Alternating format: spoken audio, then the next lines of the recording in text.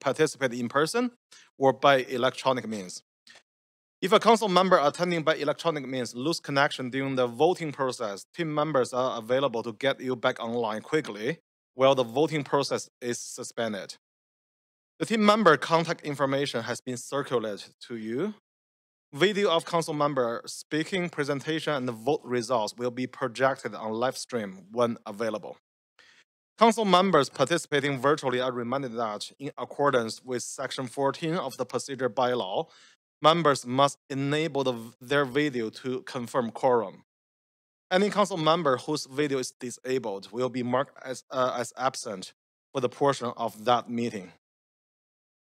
Any comments on agenda items can be sent to council using web form on city website. The link to that form will be tweeted out on at Van City.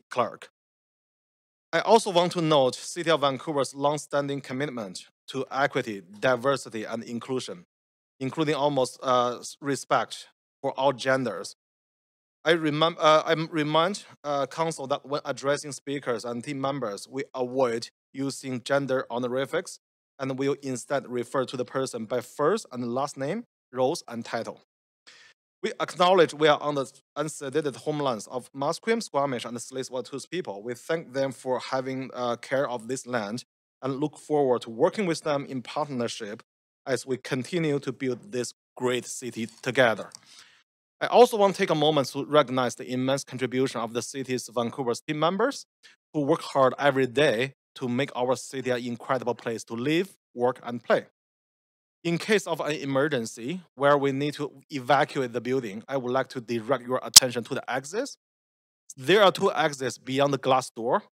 Um, to the left, if these exits are obst obstructed, please direct your attention to the four exits in this chamber. Please use stairs, do not use elevator. I would like also uh, highlight that uh, there's a defibrillator uh, located at the end of the hallway outside the outside of the chamber uh, council chamber. Clerk, may we have the roll call, please? Mayor Sim, Councillor Carr, Councillor Kirby Yung, Present. Councillor Dominato is on a leave of absence for civic business. Councillor Bligh on a leave of absence for civic business. Councillor Boyle. Not here. Councillor Fry. Councillor Montague. Councillor Klassen. Councillor Meiszner. Present. Uh, and Councillor Zhou in the chair. You have quorum, Vice Chair Zhou. Thank you, Clerk. Uh, the first item of the day, I will now invite Mayor to read the proclamations uh, for the uh, International Women's Day at today's Standing Committee meeting.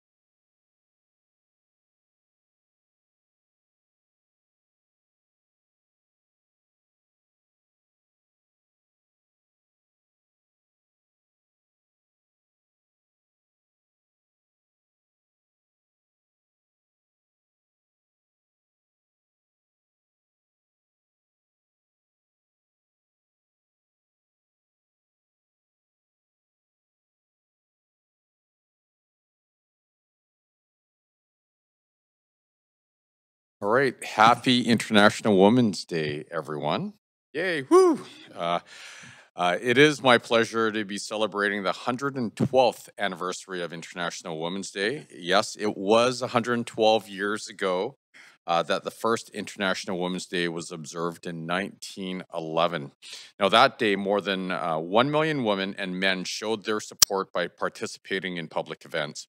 In the years that followed, other countries began to observe and celebrate uh, this day, and the United Nations recognized it in 1975. Now, International Women's Day is an important day marked around the world by those who believe in gender equity and who seek to improve the lives of women and girls, two spirit, trans, non binary, and gender diverse peoples uh, through cultural, legal, economic, and social change. This day also marks a call to action for gender equity today and every day.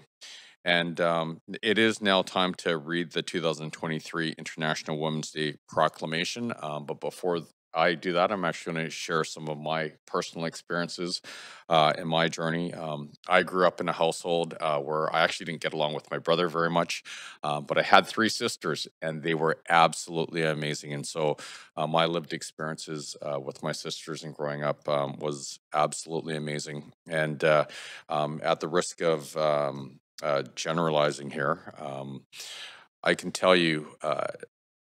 I truly believe um, that women um, make incredible, incredible leaders. It's been my journey, my uh, my personal experience.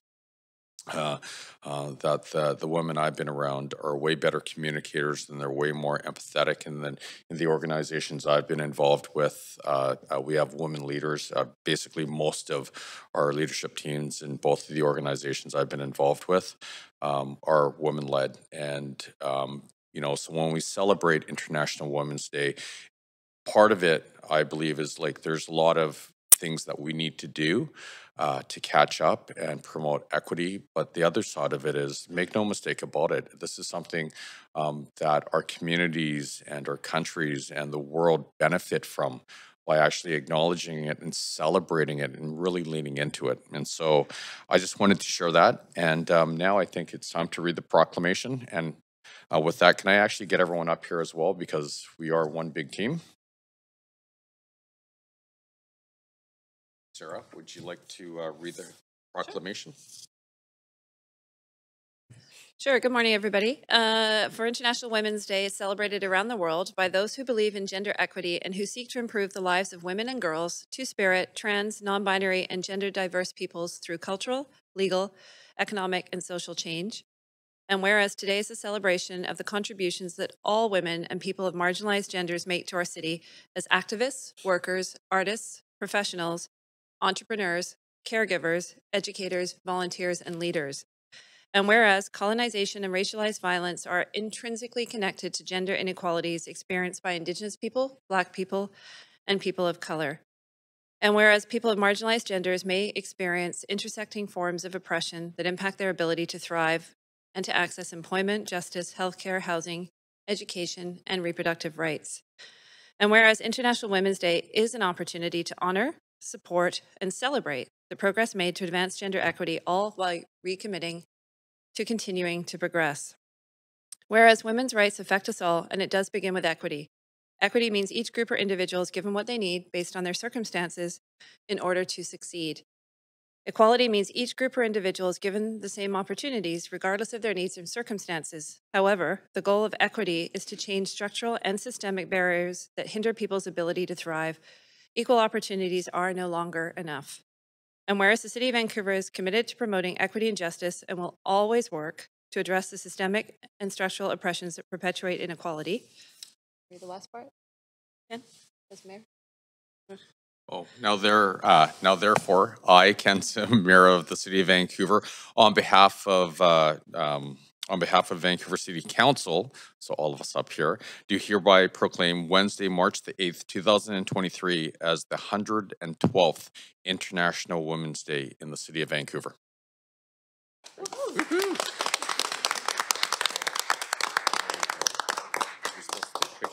Should we go up there and? No, she's, over here.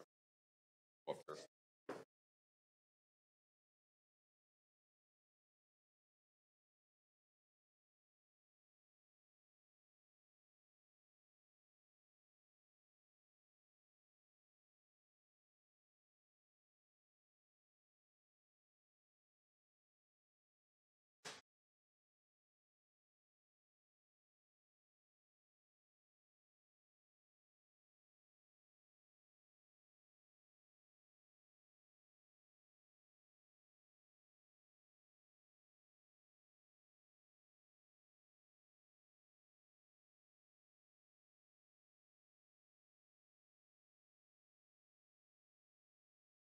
Okay, thanks everyone. Yeah, so I want to echo what Mayor and um, uh, Councillor Kirby said. So, you know, if there's one person I, I'm really feeling guilty to, that is my wife. You know, seeing what, what my wife gave birth to my baby, seeing my wife sacrifice and taking care of the whole family, you know, I'm really feeling that uh, women's um, incredible in this world and they, they deserve a huge respect from everyone. Yeah, thanks everyone. Okay, so let's continue with our meeting. Uh, okay, so this is our plan for the day. We have five reports on today's agenda. We will recess for lunch at noon and reconvene at 2 p.m. after the in-camera meeting. Should the business not be complete prior to 5 p.m. today, we will recess at, for dinner at 5 p.m. and reconvene at 6 p.m. Should the business not be complete this evening, a meeting will be reconvened on March 9th, 2023 at 3 p.m. Finally, I would like to remind council members that uh, if amendments are brought forward, they must be submitted to the city clerk in final written form before the council member introduce them. Please ensure the clerk has received your amendment by using the council meeting amendments dash DL. Before we begin, I would like to remind, remind speakers that uh, they have five minutes to make their comments should state whether they are in uh, uh, support or in opposition of the rec recommendations and may only speak once. Committee member may have to uh, may have up to three minutes to ask questions to speakers. However, speakers are under no obligation to respond. I will also ask if speakers are residents in Vancouver and if it is not noted on the speakers list. Following the last speaker on the speakers list for each item, we will go back through the list for those who were in uh, who were not present when their name was initially called. Uh, as, the, as the chair of this meeting, I'm uh, suggesting that the reports with no speakers, we adopt the recommendations collectively in a single mo motion. So for today's item, report 224 have no speakers. Number two, 1193 Granville Street, Coty Restaurant, Coty Restaurant due license uh, liquor primary license application, liquors uh, uh, establishment, class two. Number three, 1202 uh, Davis Street, Hamburger Mary David Limit. Uh, Mar Mary's on Davis, due license, liquor primary license application, liquors refreshment, class two. Number four, contract award for a pre-qualified contractor for landfill gas work program. Does any member wish to hold uh, report 224 for debate or question to team members? Okay, seeing no. Does any member, oh, sorry, so Councillor Kirby, please go ahead. Yeah, thanks, Chair. I'd like to hold uh, item four. Okay, thank you. Number four. Thank you. So does any member wish to declare conflict of interest on the consent items? Councillor Montague, please go ahead. Uh, yes, Chair. Uh, item number four, I have a, uh, a conflict with one of the shortlisted companies in the report. So I'll, when it goes to debate, I'll recuse myself from that debate. Thank you. Uh, we need a motion to adopt recommendations in report two and three. Okay. Moved by Councillor Carr, and we need a seconder. Oh, no secondary, standing committee. That's right. Yeah, thank you. So all those in favor say yeah. Opposed say nay. Okay, so the motion carries. The following items has been approved on consent. Number two, uh, 1193 Granville Street, Coty Restaurant Limit, Coty Restaurant Due License, Liquor Primary License Application, Liquor Establishment, Class 2. Number three, 1202 David Street, Hamburger Mary David Limit, uh, on David due license, liquor primary license application, liquors uh, establishment, class two. Okay, so now we're gonna go to the uh, agenda items. Number uh, the first one. So our first item on agenda is 901 Granville Street, Cinema Public House Limit, Cinema Restaurant due license, liquor primary license application, liquor establishment, class two. Does any member wish to declare conflict of interest on this item? Okay, seeing none, we have uh, Sarah Hicks, chief license inspector here in the chamber to answer questions. So councils, you have five minutes to ask questions of team members. Are there any questions? Okay, seeing no other questions, we will now hear from the registered speakers for these items. Uh, first speaker is Bert Hick. Are you on the line? Oh, are you, you're in person? Yeah. Hi, Burke. Thanks for coming to the uh, council. Good morning. Um, Happy International Women's Day, Your Worship, Mr. Chairman, members of council. I'm here to speak on behalf of this application. Indeed, I was contacted by city staff asking me to stand down, but I needed to speak to you about one aspect of this application. Let's go back to the Donnelly Group who owned the Cinema Pub. I've worked, when I used to be general manager of the Liquor Control Licensing Branch in Victoria back in the 80s, I still remember working with Jeff Donnelly and his father on some licensing we did over there in Victoria for them. So I fully support the application.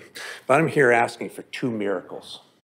Miracle number one is on page two of the administrative report, uh, prepared by Sarah and her staff, who do a great job, by the way. Um, It states that under the city policy for dual licenses, that the council uh, that only existing licensed, food primary licensed establishments can qualify to become a dual licensed establishment. And secondly, it's restricted to only class one and class two size establishments. That's up to 150 seats.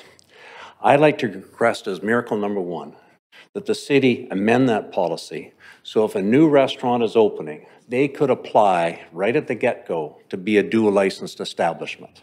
You want to open with what you're going to be. It's like a politician who runs on a platform and gets into office and can't work on his platform.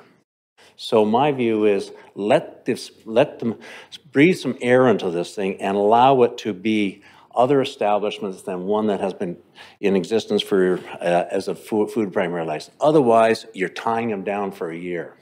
These applications that are before you today probably started with your bureaucracy about a year ago. And you're going to have a couple coming up in a few weeks' time for a few other establishments for dual license. And they were submitted to your city about a year ago. Um, You know, the, uh, and uh, we talked about some of them a year ago just to get the permission for dual licensing. But finally, they're bubbling up to your level. And so you want to open what you're going to be. So suppose you're a new hotel and you want to open with a 200-person capacity, 300-person capacity restaurant, but at evening time, because of labor shortages and the hospitality industry is still fragile, you want to be able to cut back your, your uh, food service to a very limited menu, cut back your staffing, make it more of a cocktail culture. You won't be able to do that until after a year or so from the opening of your restaurant. So miracle number one, get rid of the, the words, has to be an existing food primary licensed establishment in terms of being eligible. Number two, and miracle number two, and we talked about this a year ago, is this policy that you have on the, uh, uh, regarding the distancing and size of, of establishments it's antiquated. It goes back to 2000, prior to 2005, and it doesn't work. And I spoke to council about this last year. I had some choice words about it, but I'm not going to say those words again, but they're on the record. It's antiquated, and no other city in the world has this policy. It basically says that I have a 65-seat pub, Councillor Fry cannot put a, uh, create his vision of having a 65-seat bar within close proximity of mine. No other city has this policy, but it still exists. But it still also carries over to what we're talking about here, dual licensing, where they refer to the fact you have to be either a class one or a class two to be eligible to get a dual license. So let's say you are, again, a hotel, and you want to have a dual license, and your food primary is larger than uh, a class two. Um, over that, you're going to have to be restricted in size. And it doesn't work. Abolish the policy, put in the tra, you know, I, I, when I'm thinking about this thing, I think that movie Top Gun Maverick, where he just takes the manual, throws it in the garbage can. That's what you got to do. Just trash the policy. And we talked about it about a year ago, but it still exists. I understand work is underway to bring forward a recommendation, but in the meantime, there's some people who are working on applications, working on projects in the city that are very exciting and consistent with what you want to do with Granville Street and other areas, but they are, they're caught, when we look at all the analysis, by these policies. That's my speech. Thank you. Thank you, Bert. Yeah, uh, you do have some questions. So, okay, first question, Councillor Kirby-Yung. Please go ahead. Yeah, thanks, Chair, and good morning, Bert. Um, I always appreciate your kind of direct line of sight into the reality um, of what's going on. So just to be really clear, you're not opposing this specific application for Cinema Public House this morning? Well, Fully support it. You're just using this as an opportunity to highlight the broader issues that if you're already in the pool and you're one of those favored folks, great, but if you're a new person, you're not going to benefit. No, I'm not in favor, I'm not opposed to it at all. And indeed, I think they were going to have about five or six speakers, and then they were all stood down. But I said, I wanted to come and talk to you about this problem that we have. Okay, um, and then so if you're drawing attention to the issue with the broader policy um, and the limitations it has, like what can you kind of give us a bit of color on what that means? I know you talked about the hotel example, but in terms of um, new entrants coming to the hospitality industry, or um, Yeah. what, what does it really mean in terms of limited potential in the city? Well, in the 800 block of Granville Street, Cineplex Entertainment out of Toronto are building this massive complex. They're already into it for over $30 million. It's going to be a food primary license establishment, but they would like to have the ability to convert to being a liquor primary later at night, a dual license. Um, because they just recognize that after 10 o'clock at night on Granville Street, there aren't many minors and not families. And, uh, but what this policy means is they're gonna have to open as a food primary license first and then wait a year to get to apply for the liquor primary license to become a dual license. And that's gonna be over 150 seat person capacity throughout the different levels of this complex. And this project is totally aligned with what you're trying to do on Granville Street with the re, revisioning of Granville Street and the, and the revitalization of the Granville Street Entertainment District. And Um, how much so- how much of this policy do you think sits uh, sort of at the at the feet of or directly squarely within the city's ability, and how much uh, is provincial with the provincial provincial guidelines, and are you advocating there also? Policy is, pr- is pretty well provincial, a city. It's all city. So this is not We have to go through the provincial process, but they wait till they get a resolution council, just like today, the resolution you're approving today for these three applications. They, uh, they will be forwarded to the liquor branch, and if you've approved them, they will essentially, uh, approve them within a few weeks. So I'm reminded, and if you recall, when we um, last council term, we uh, aligned the fire codes because Vancouver had its own specific fire codes that limited the number of patrons Yeah. in our establishments, and it was lower than the province, which meant that you could run a bar in Burnaby and have more people in it than running the same size capacity um, facility in Vancouver. Yeah. So is this sort of a similar approach that Vancouver has the ability to um, modernize this, if you will? Yeah, the move to, to change the, the requirements under the fire code or the building by, uh, the building bylaw was a good move. And the province just takes whatever capacity your fire officials give and rubber stamps and puts it on the face of the liquor license. That was a very progressive move. Sorry, Bert, you are running out of time. Thank you. Yeah, thanks, Councillor Kirby-Yung. But you do have other questions. Uh, Councillor Fry, please go ahead. Thanks, Chair. Thanks, Bert. Nice to see you. Um, so, uh, I, a- a- to your second wish, uh, staff, I know staff are coming back in Q4 with uh, further work on the on the distancing, and, and totally hear you. And it does seem that it needs a lot of work, and not just in the downtown area, but the entire city of Vancouver. I'm hearing from other constituents that are having challenges with the the sort of nature of dual license, or of, sorry, of uh, distancing bylaws. But on the dual licensing, and I'm just refreshing myself on the, because as you know, I, I brought that forward. Yeah, oh, I appreciate your leadership. The industry does.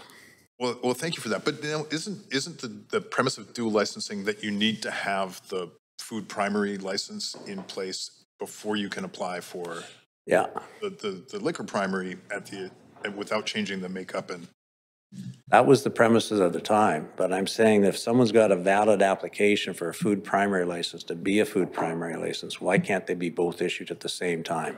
Right, but Just like when we license a hotel today, uh, or when we license Rogers Arena as an example, uh, it's got both food primary and liquor primary licenses in it. Both were issued at the same time, so the whole place opens and simultaneously. Okay, so this isn't a bottleneck in the, in the, the liquor control and licensing regulation. This is, Yeah, it's, a it's, a they can, they can easily program it so it opens at the same time.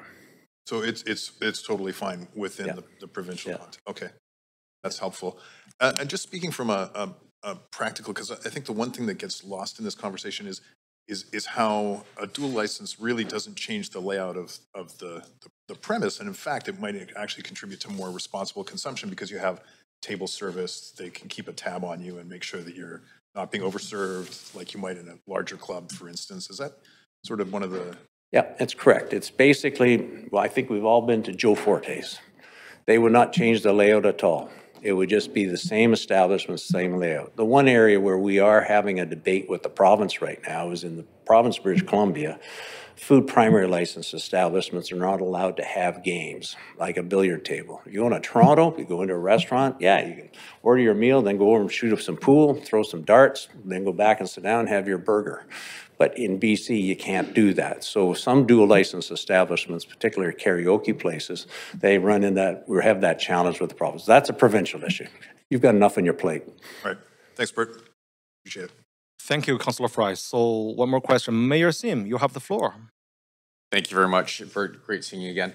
Uh, just in the, um, uh, the spirit, the spirit of expediency, would you be able to, um, you know, print out the, uh, the dual license, uh, uh, regulations and the antiquated, uh, seed policy?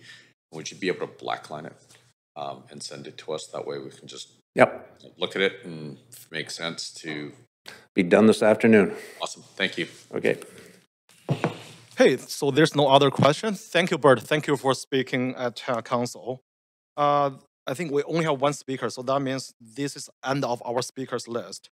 Uh, would someone like to move a motion? Moved by Councillor Kirby-Yung? And is there any discussion, council? Okay, so there is, oh, Councillor Kirby-Yung, please go ahead. Yeah, I, I think that uh, um, as we have these applications come forward, it's uh, to hear. I think when these applications come forward, it's always an opportunity for council to hear directly from people, businesses that are living real experiences in the field. And I know when Councillor Fry brought this forward, one of the really compelling rationales is that we have incredibly expensive real estate and leases in the city. And so if you have the ability, you know, you think about being a coffee shop during the day, um, and potentially you can um, have some cocktails at night and pretend, maybe have some live music going on because we have a shortage of live music venues. But it's really about using that real estate effectively when people are dealing with extremely expensive rents and lease costs. Um, and it only makes sense, I think, in a city like ours. So um, I appreciate the fact that uh, we have these real life case studies, if you will, uh, that point out how our regulations are sometimes antiquated. And I know that there's always lots of discussion when it comes to liquor policy um, uh, with Coastal Health and other partners, but I, I, do think that there's a lot of room for modernization here. I'm happy to see this individual one coming forward, but I'd like to see us um, sort of attack this on a policy basis as opposed to having to deal with these individual um, cases that have to kind of go through this long and um, sometimes timely or costly process in order to get to an outcome. Um, and it ranges from an existing business to what we heard from one of our speakers when somebody's trying to put a business plan together to bring uh, a new business and invest in something um, as significant as the Cineplex sort of rec room concept into Granville Street, where we desperately need investment to bring life and vital- vitality back to that street. So um, I really appreciate the perspective that we've heard from the speaker this morning, um, but obviously we'll support this one. Thanks. Thank you, Councillor Kirby-Yung. Seeing no other comments from council, so I think I'm gonna go in, I'm going to call the vote. But remember that um, uh, council members whose video is disabled will be marked as absent for the vote uh, to section 14.13 of the procedure bylaw. Uh, clerk, can you take us to the voting screen? Council, please register your vote on the voting panel.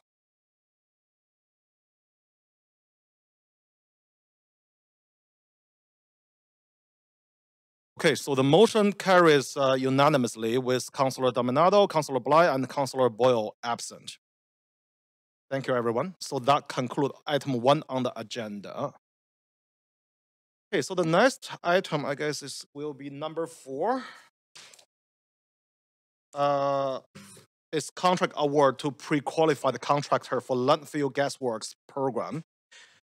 So Councillor uh, Montague has declared the conflict of interest on this item. So here we have uh, Alexander Rolf, uh, Director of Supply Chain Management here in chamber to answer questions. Council, you have up to five minutes to ask questions of team members. Are there any questions? Councilor Kirby? That's the previous one, right? Okay, okay. Here we go. Can I get my timer reset? Thanks. Uh, yep. Oh, you know what? Restart. Oh, sorry. Okay, you are good to go. Okay, super, thanks. Uh, Good morning. Um, I pulled this report because um, I appreciate uh, sort of the, the opportunity for operational efficiencies, but um, I'm asking a question in the context of whether or not this would be precedent setting, because council is being asked in this particular case to approve a spend of $13 million, which is significant. Um, And the report states uh, that it would not come back to either council again or bid committee, whereas typically contracts over $2 million do. Um, And I can pr- appreciate that we're approving a funding envelope, but I wonder if you can speak to um, whether or not this is setting precedent in a time when we have had it historically um, unprecedented tax increase, we're dealing with inflationary pressures. It's really important that we're fiscally responsible, and yet we're being asked to kind of sign off on $13 million and nothing's coming back to us with any line of sight around those contracts during this period of time. Thank you. Alexander Ralph, Chief Procurement Officer and Director of Supply Chain Management. Through the Chair, thanks, Councilor Kirby Yung, for your question.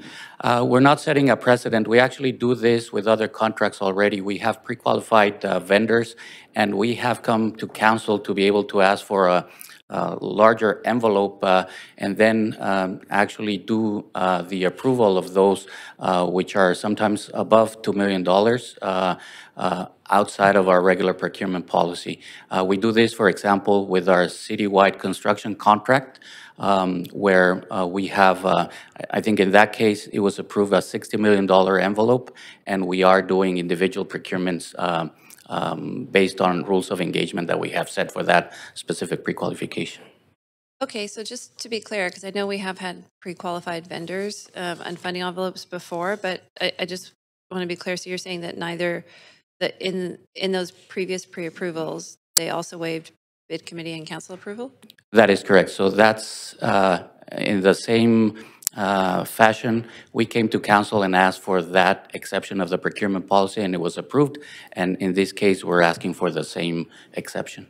Okay, and what is Counselor- the, Sorry, uh, Counselor, if I may, just to clarify a point I heard you make there, that, that we're not waiving bid committee approval. Um, These, these contracts will go through bid committee. Um, They just wouldn't come back to council. so. The- the other thing to city note is that manager, these Can I, can I just interject Yeah. here, because I have limited time? On page three, it says, the team will not be seeking bid committee or council approval in paragraph one on page three. Sorry, that I may be, And, and this is correct. What we're seeking is to be able to delegate that authority to the General Manager of Engineering Services and to the Chief Procurement Officer to be able to award contracts under this pre-qualification and as well to be able to sign the contracts. So I don't know if the city manager wants to follow up, because that's the crux of I'm my I'm question. incorrect. Th- That's, I'll defer to Alex. I, I think the other point to note here, and, and it's an excellent question, is that these contracts would be um, tendered. So, so they will be awarded to the lowest bid.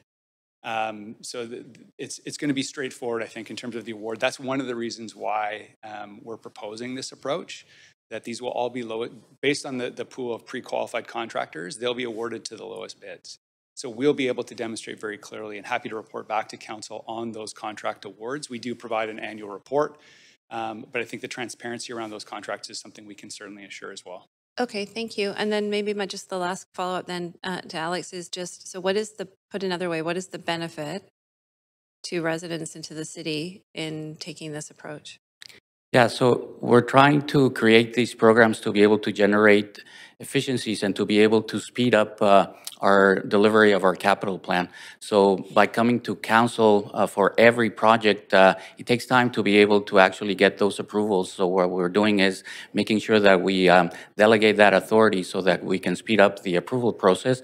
Uh, with, as uh, the city manager was describing, uh, this is low risk because it's just price-based or we're doing ITTs for these pre-qualifications. So therefore, uh, we will be shrinking the actual uh, time to be able to sign a contract uh, and to be able to award the contract.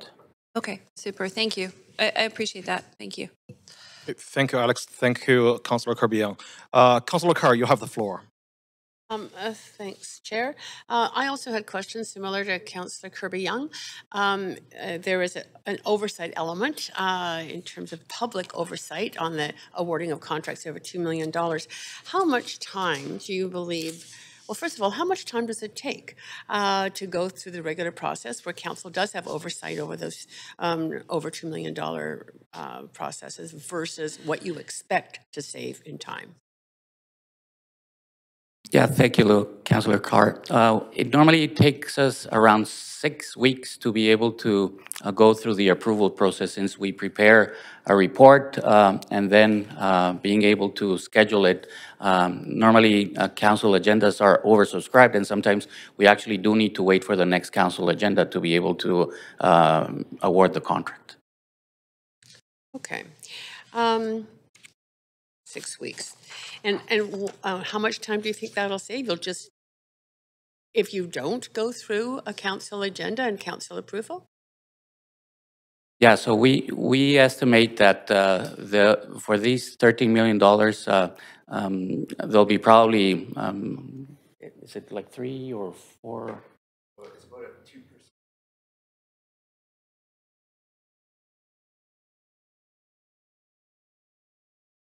Yeah, so we will normally save like 2% uh, in terms of time uh, by uh, just going through this process. Okay.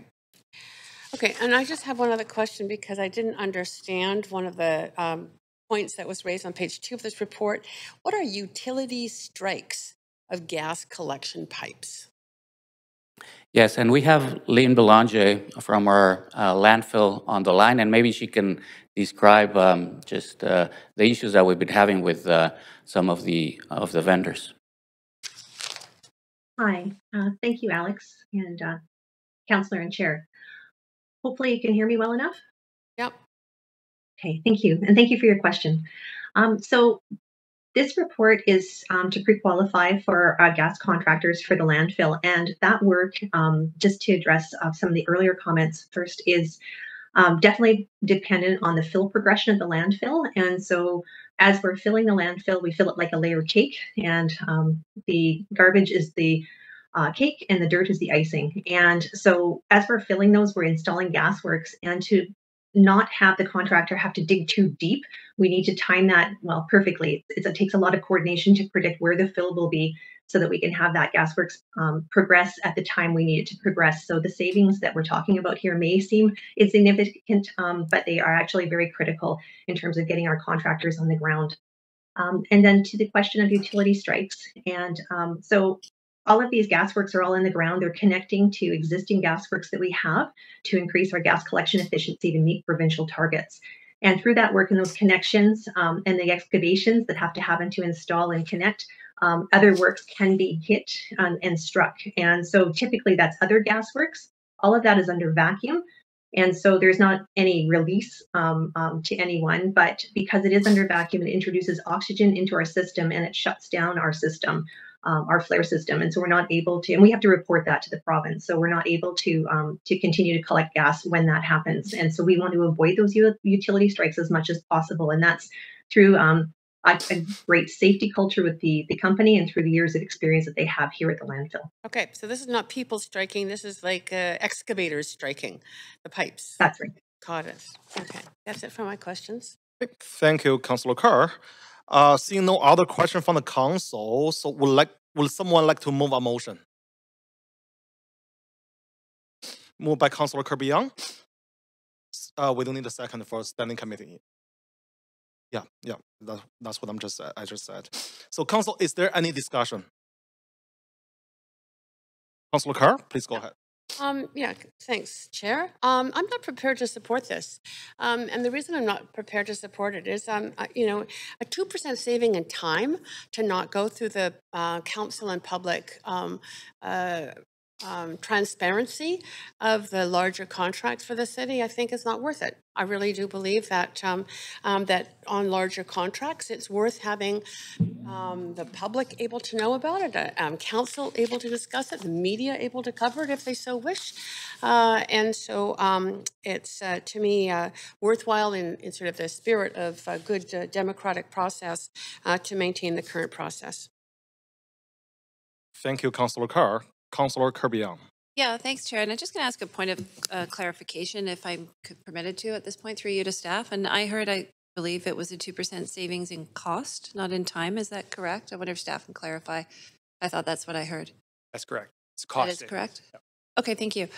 Um, so I pulled this report because I do think it's important to do the due diligence um, and to ask these questions because $13 million is a lot of money for taxpayers. It's one and a half percent equivalent in property tax, and it is our job to provide uh, due diligence and oversight for the city's finances, uh, which are paid through uh, for through hardworking people and their property tax dollars. Um, having said that, it's my job to ask the questions and then to um, distill and make a judgment on the information that I've heard.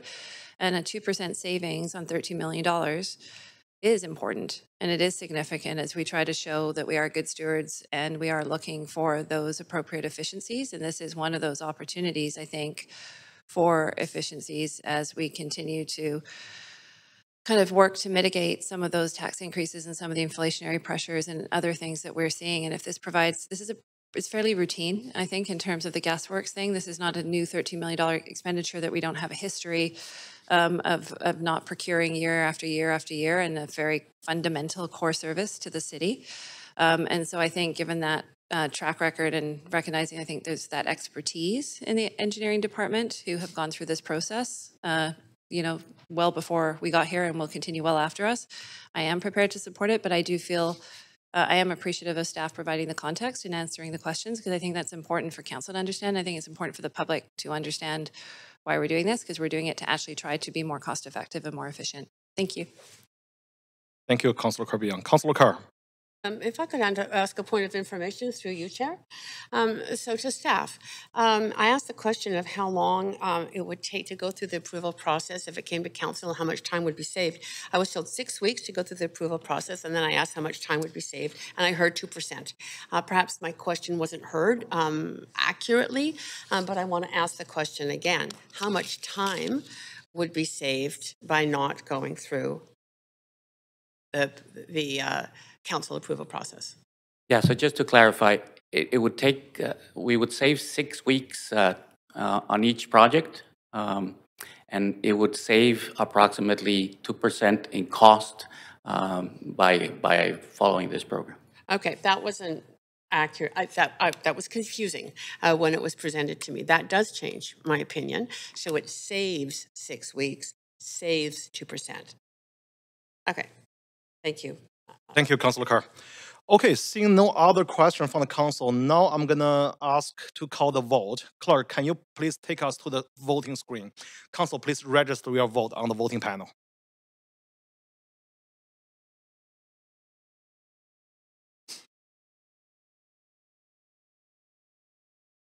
Okay, so now we have the results. So the, the mm, uh, item carries uh, with uh, Councillor Carr abstain, uh, and Councillor Dominato and Councillor Bligh uh, absent, and Councillor Montague declared conflict of interest. Okay, thanks everyone. That concludes item four on the agenda. We have one more item to go in this uh, standing committee. Our next item is the on the agenda is 2023 property tax uh, develop potential relief and targeted land assessment averaging. Does any member wish to declare conflict of interest on this item? Okay. Do we want to bring Councillor Montague back?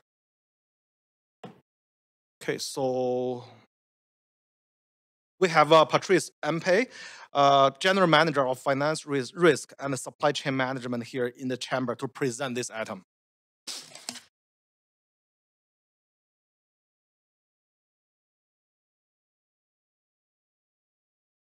Good morning, Mayor and Council.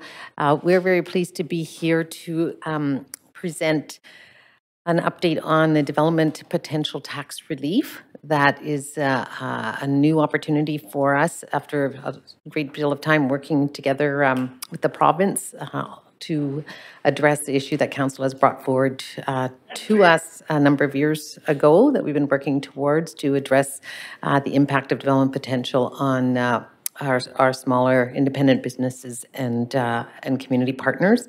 And, and, as well, we'll be talking about targeted land averaging. And this is something that the city has done uh, for many years. And so we're bringing those two together because they are interrelated as far as how we adjust um, uh, the approach on on uh, taxes.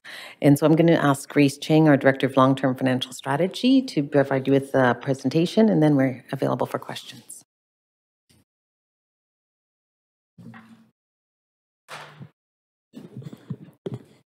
Thank you, Patrice. Um, I'm Grace Chang, Director of Long-Term Financial Strategy. I'm going to talk about um, two programs today. So to start with, um, there will be two sets of distinct recommendations under the two programs. The first program that we're going to talk about is the Pilot Development Potential Relief Program. Um, um, so we, we're going to ask Council to consider implementing a pilot program and approve the city-specific criteria in addition to the minimum legislative criteria dictated by the province uh, according to the legislation.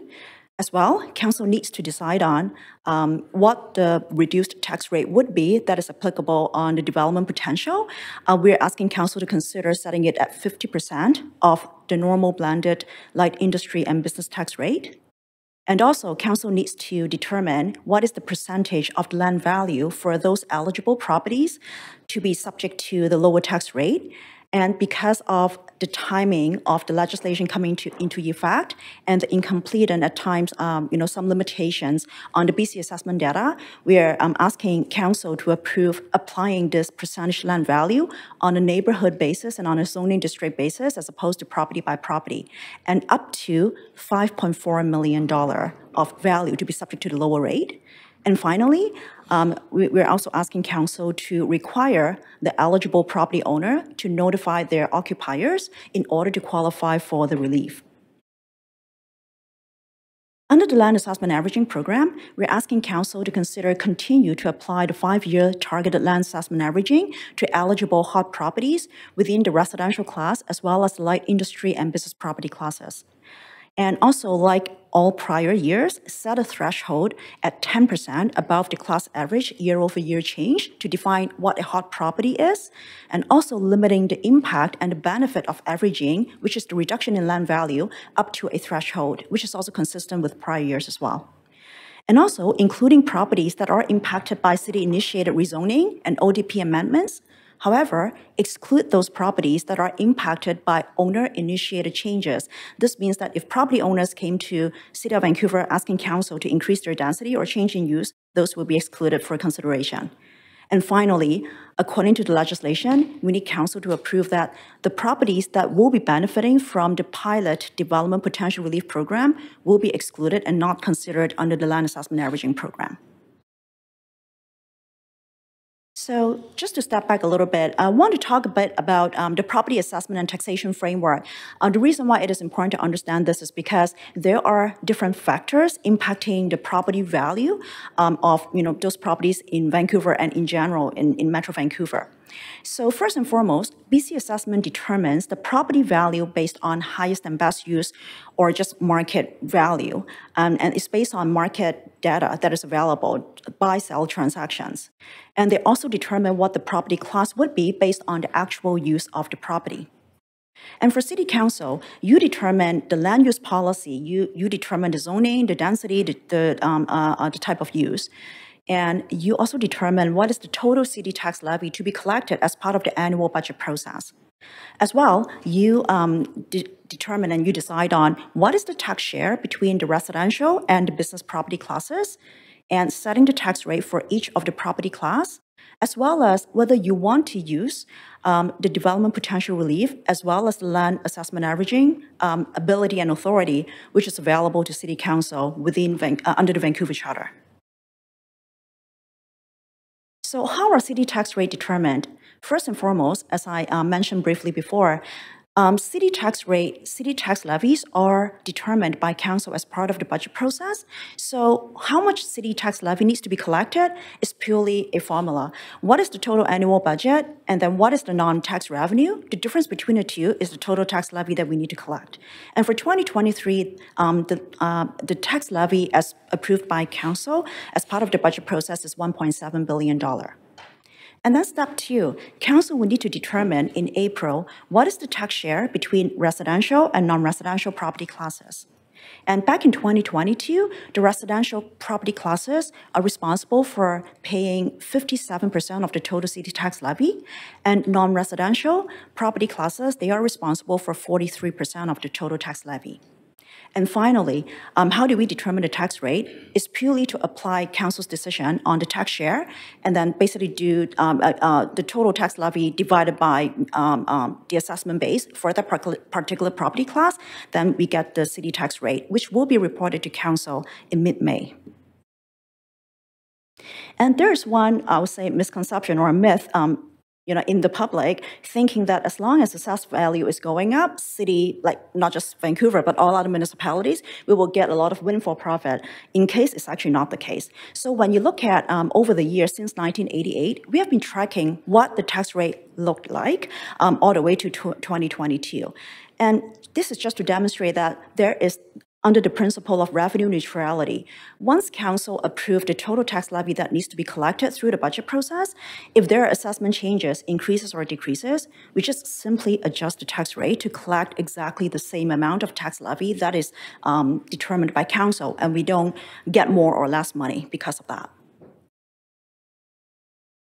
However, even though the pie is the same, the total amount of tax levy to be collected is the same, um, different properties may be impacted by their assessment changes differently. Say, for example, in year one, just assume very simplistically, there are only four properties in Vancouver. Everyone is having the same assessed value. However, in year two, their assessed value started changing differently. So for properties one and four, which have a below average increase in their assessed value, they will pay lower taxes. And for properties um, two and three, because they have above um, average increase in their assessed value, then they will be paying higher taxes. But this does not change the total tax levy that the city is collecting. And this is a real, um, I would say, some trending that we want to share with council and the public. Um, when we say um, differential assessment changes is impacting properties differently. So within the residential classes, we have been tracking how the uh, assessed value and, and, and the tax uh, implication um, how different are those between condos and also single family homes. As you can see, because of the, I would say, relatively outsized increase in assessed value for single family homes over the last 10 years, um, or more, um, they have been showing a much higher tax increase year over year versus the condo. When you see the condo, like strata condos, in some years they were actually kind of plateau or even coming down for quite an extended period of time. So from a non-residential commercial um, property kind of uh, perspective, on the left side of the, uh, of the slide, um, we, uh, we show a sample non-highest and best use property, and on the right-hand side is a sample fully developed AAA office building.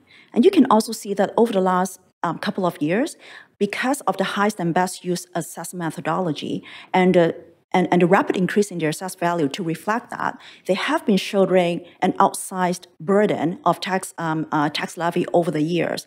While um, example A, um, AAA office building, their tax levy has been pretty stable, if not coming down. So this is just to tell you that different properties have been experiencing different assessment changes, and then that also caused the changes in or difference in their tax bill, increase or decrease year over year. So why is it important to talk about development potential and taxation impact? Um, what is really driving the property values? Very simplistically put, supply demand for sure, um, the ultra loose monetary policy that has been I mean, witnessed during the whole COVID situation and there, um, at the spike in the in the property values. That's also one of the key reasons. Of course, there will always be some level of market speculation, or maybe there is some sort of major infrastructure or amenity investment that could also contribute to us change in assessed value. However, there's one that is quite prominent is the land use plans that may create a higher and better use than current use. That is also driving um, assessment increases as well. So for properties that are facing the prospect of redevelopment, the market would expect a higher and better use relative to their current use. And then, it, and, and then the potential purchasers, they will begin to price in a premium over and above the value that is justified you know, by, by, by the current use. So when you look at this, it's just like very simplistically put. We use typically see, you know, there is a, a retail like great storefront, just one level of, of, of you know commercial property or commercial establishment. However, because of either actual land use policy or because of the perceived potential future use, um, the expectation that there could be condos built on top, even though it's not developed, the assessed value would have reflected that. And then eventually, all these will be this is actually a transitional issue. The reason for that is because um, eventually every single underdeveloped property will be developed eventually. So what we are dealing with is a transitional issue that are impacting, in particular, um, those tenants and occupiers of these underdeveloped properties. As I mentioned before, properties are assessed by BC assessment at highest and best use. And this maybe it's just a fancy name. In, in, in, in substance, it's just like market value that they're observing you know, in the market through the market transactions. Um, and this is in accordance with the Assessment Act. And then for all the underdeveloped properties or non-highest and best use commercial properties, the unrealized development potential could result in significant property tax implications.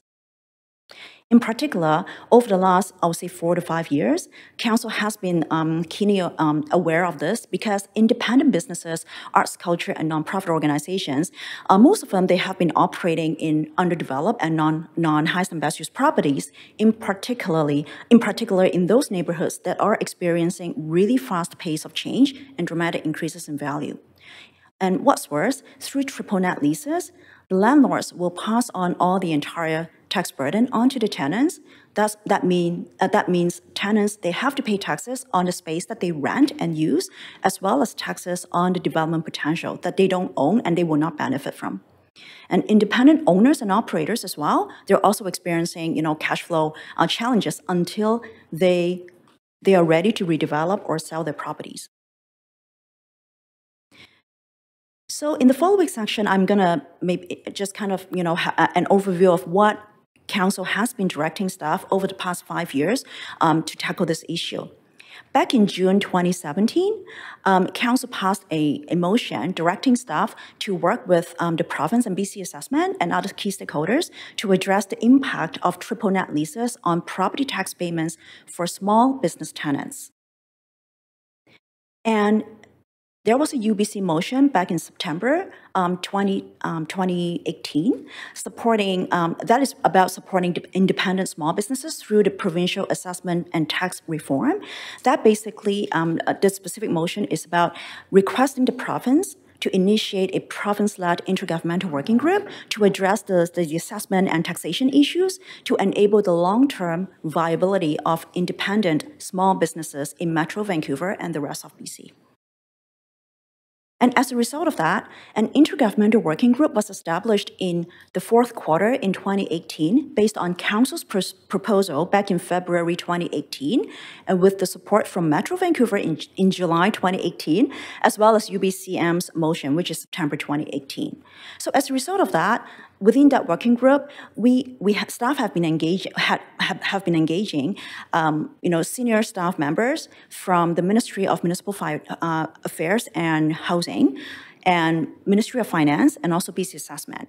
And various CFOs from Metro Vancouver cities, including, of course, Vancouver, Burnaby, Coquitlam, North Vancouver, Richmond, Surrey, and West Vancouver, we all participated in that working group to work with the province to come up with something that is workable. The, the key thing that we ask for is that municipalities need a tool to lower the tax rate on the development potential to support independent small businesses and community partners. The reason for that is because without any changes in the legislation, City Council can only apply one tax rate for each property class, and you cannot apply more than one tax rate.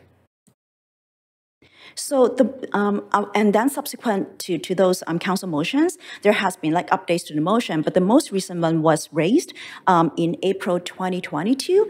Again, is seeking um, uh, the, uh, is asking the mayor to write a letter to the province to address the core issue of taxes on development potential that is punitive, impacting small businesses, arts and culture, and nonprofit organizations. So that's the genesis of how long it has taken us to get to, to this stage. So um, back in 2022, the Ministry of Finance initiated the Property Assessment St Strategic Review, um, hope, um, hope to basically, you know, develop a longer-term solution in time for the 2023 tax year to provide tax relief for businesses impacted by development potential. And in October 2022, um, uh, the province introduced the legislation, um, and Bill 28 was finally um, enacted and also came into effect in November 2022. Bill 22 is is very permissive in nature. It provides permissive authority to municipalities. So we have authority to, through a bylaw, to identify certain light industry and business properties to be eligible for this relief. Council can also specify the percentage of the land value for each of those eligible property to be subject to the lower tax rate. And council, of course, you will have the authority to determine what that lower tax rate would be. And then you can also require owners to provide notices to um, uh, the notice of the tax relief to the occupiers. Um, just want to reiterate that this legislation is crafted in a way that it really gives maximum flexibility to local council to, to, to determine your own um, um, eligibility criteria and the level of the tax relief that you want to provide. Or you can actually choose not to effect it as well. So basically, um, in this Bill 28, which is different from what originally uh, was recommended from the Intergovernmental Working Group, what we called as split assessment through a commercial subclass, is that for this, under this bill, BC assessment is not required to provide the development potential value on the assessment roll. As a proxy, the province um, legislated, um, you know, um, included in the legislation, legislated um, BC assessment to provide a list to municipalities that captures all the property with a land value that is greater than or equal to 95% of their total assessed value, um, because with that, they consider that is, um, is underdeveloped. And this is a provincial criteria. There's nothing that local government can actually change it. So this is the minimum requirement set by the province in the legislation. And um, BC assessment will, after generating the list, they hand it over to, to local government, and local government will need to make sure that of the list, of the properties on the list, we need to find a way to make sure that those properties were in use as of October 31st of the preceding year. And there was a reason for that because the legislation was very clear. The intent is to help businesses and community partners who are impacted by, um, by the development potential. So this is not intended to, um, to provide relief to vacant land or properties that have been vacant for a while. There are no businesses, you know, on, on, on the site. So this is very specific in the, in the legislation. And this is not something that local government or city council can change. It's a legislative requirement. And then municipalities will be required to impute the development potential value to inform what is the level of um, relief that we want to provide and, and which is subject to the, the lower tax rate. So how does this program work? Um, as I mentioned before, because BC assessment is not required to, um, to give local government the development potential value. However, they did share what is the available information that they have. May not be on every single property, but whatever information that they have, they share with us. So for some of the properties, BC Assessment provide us with the value of the, the current use, which is based on the income approach. And then, of course, we all know what is the highest and best use value, which is the value on the assessment uh, roll. So when we basically, um, how do we um, impute the development potential? Is purely to deduct um, the current value, the current use value from the assessed value, then that is the imputed development potential value on those properties that we have information on. And then with that in mind, for, uh, for the current use value, um, council will be applying the typical standard class 5 and 6 tax rate. However, council will also be based on um, the imputed development potential value. Council can determine what is the proportion of that value that will be subject to the lower tax rate, and council will um, impose the lower tax rate to the portion of the land value that will be subject to the relief program. So for the pilot program, um, want to kind of um, just uh, reiterate again what the provincial eligibility criteria are. When we say provincial eligibility criteria, it is not something that local government can change. It's all in the legislation. So a commercial property will be eligible if it has land and improvement value in class 5 or 6 or both. It cannot be vacant, as I mentioned before, uh, as of October 31st of the preceding year. And it needs to have a combined value, land value, uh, at least or exceeding 95% of their total assessed value. A commercial property will not be eligible if it is split class, um, other than having a split class with residential, but split class with other classes, it will not be eligible. Um, as well, um, if it is exempted in whole or in part for any other um, for every for any other reasons, then it will not be considered for um, this program. And most important of all, um, it cannot be also benefiting from the land assessment averaging or phasing program. And this is important why council you see today we're we're, I would say, uh, presenting to council the two programs at, at the same time because there is some very complicated interplay between the two programs. So basically, what um, roughly in uh, in class five and six, we have roughly, I would say, just slightly below 15,000 properties in those two classes.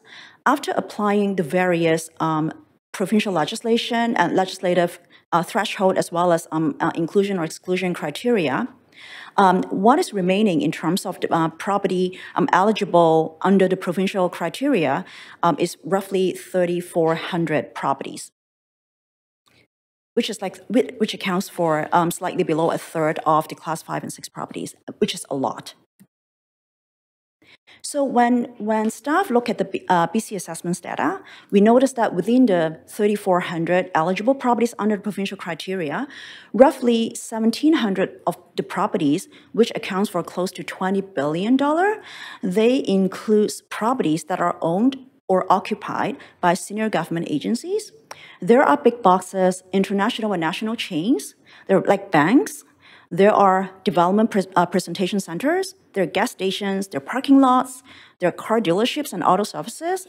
There are self-storage and warehouses, hotels, office use, and strata properties. And there are some billboards as well. And there are also uh, roughly just below 300 properties that actually have little or no development potential value. What does it really mean? Meaning that even though it has a very high proportion of their assessed value in the land value, however, when we look at their current use value, it is actually very similar to their highest and best use value. So meaning that they actually don't necessarily need relief. And then for uh, just below 50 properties, property owners, they're actually seeking additional density or change in use uh, with city council.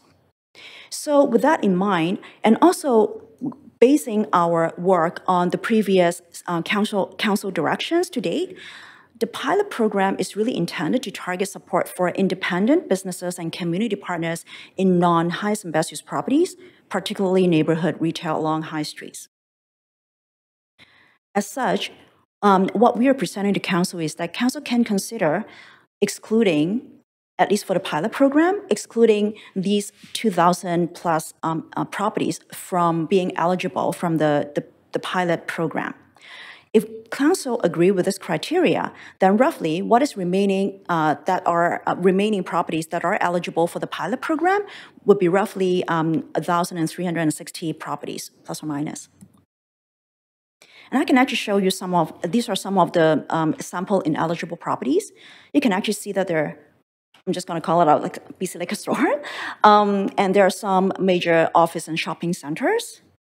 And there are some downtown hotels. There are some um, um, um, office buildings in downtown as well, some big box stores, and some banks. And when we talk about why it is important to understand the, um, the application of the program, um, the pilot program, uh, the pilot development potential relief program versus the averaging. So this is kind of like a step-by-step decision kind of uh, uh, uh, uh, uh approach, meaning that we need to kind of first make sure that properties they fulfill and they meet the provincial criteria. And after that, if council agree to the city criteria, then we need to apply that lens to look at who are eligible and who are ineligible. And then once that's done, we also need to go through a declaration process at a minimum to make sure that those eligible properties they were in use and not vacant as of October 31st of last year.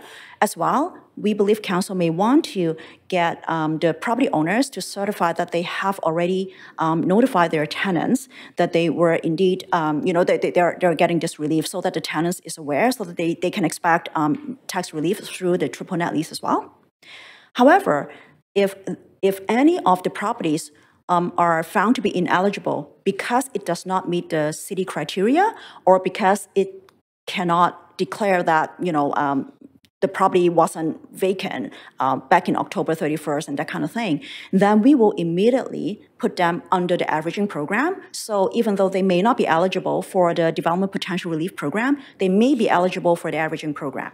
And what we're looking at is that for the 2,000 plus properties that, according to the city criteria, they will not be eligible, um, roughly 360 of those properties are hot property, and we are putting it under the land assessment averaging program so that they can get um, some relief as well. So um, in front of you is actually a map showing for different districts um, um, the, the range of um, the land value that could potentially be under the lower tax rate. And as I mentioned before, given the assessment data limitations, um, this uh, development potential relief, which is characterized by the percentage of land value that will be subject to lower tax rate, it is set, it, staff is setting it at the neighborhood and zoning district level as opposed to having a very customized property by property approach because that we do have limitation based on BC assessment data. And we hope that this limitation can be worked on over um, the next few years so that we can actually have more precise information. As well, when we look at um, the distribution of the land value, um, we, we look at um, some of those, um, you know, the really the, the, highest value properties, and we are recommending to council that very similar to averaging, maybe we should limit the benefit of this pilot program up to $5.4 million of of land value to be transferred and subject to lower tax, uh, the lower tax rate. So just to give um, council a sense of um, what does it look like. So as I mentioned before, staff is recommending that the, the lower tax rate will be set at 50% of the blended class 5 and uh, uh, 6 tax rate. And also, um, we also want to kind of show council um, a sensitivity on what is the implication um, implication to the tax rate as a result of um, this level of relief. So assuming that council doesn't want to go with the $5.4 million cap, and still you agree to the 50% discount of the blended rate, it will have a 1.14% to the tax rate, meaning that everyone else have to pay 1.14% higher tax rate for that purpose. However, if you agree with the $5.4 million cap, it will reduce the implication to the tax rate by 1%, and then so on and so forth.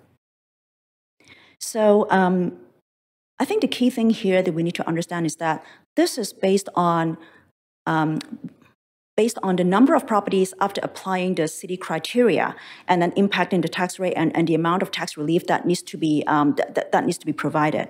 However, if council consider that instead of applying the city um, uh, the city criteria, just purely go with the minimum provincial criteria. Um, it's not on this slide, but I can actually give you a sense. Roughly, if everyone that are eligible uh, under the provincial criteria, roughly the tax rate increase will be around at least 3.5% for this program in order to collect the same amount of levy. Uh, so it's 3.5%, including everyone that will be eligible under the provincial criteria, versus the 1% for those properties that will only be um, uh, that are eligible under the city criteria. So for the pilot program, um, the 13, uh, I'll say uh, 1,360 eligible properties, this is roughly where they are at on the map. And just to give you some estimated city tax relief for sample properties, in Marpole, um, you know, there are like restaurants and cafes in a strip mall. We are talking about, on an annual basis, $12,800 tax relief. And for a restaurant in Collingwood, we're, we're looking at roughly $7,200 tax relief. And for the resident, uh, for a re- um, sorry restaurant in Kitsilano, it's roughly four thousand and just to remind um, everyone that this development potential relief program only applies to the city tax levy, and it does not apply to other taxing authorities, including the provincial school tax, as well as TransLink, Metro Vancouver, BC Assessment, and, and, and BC Municipal Finance Authority. And there's some more samples. Beaumont Studio in Mount Pleasant, the savings will be roughly $8,800. Eastside Studios, $3,600. And then um, um, um, uh, Trouble 5 Music, uh, $12,700 a year.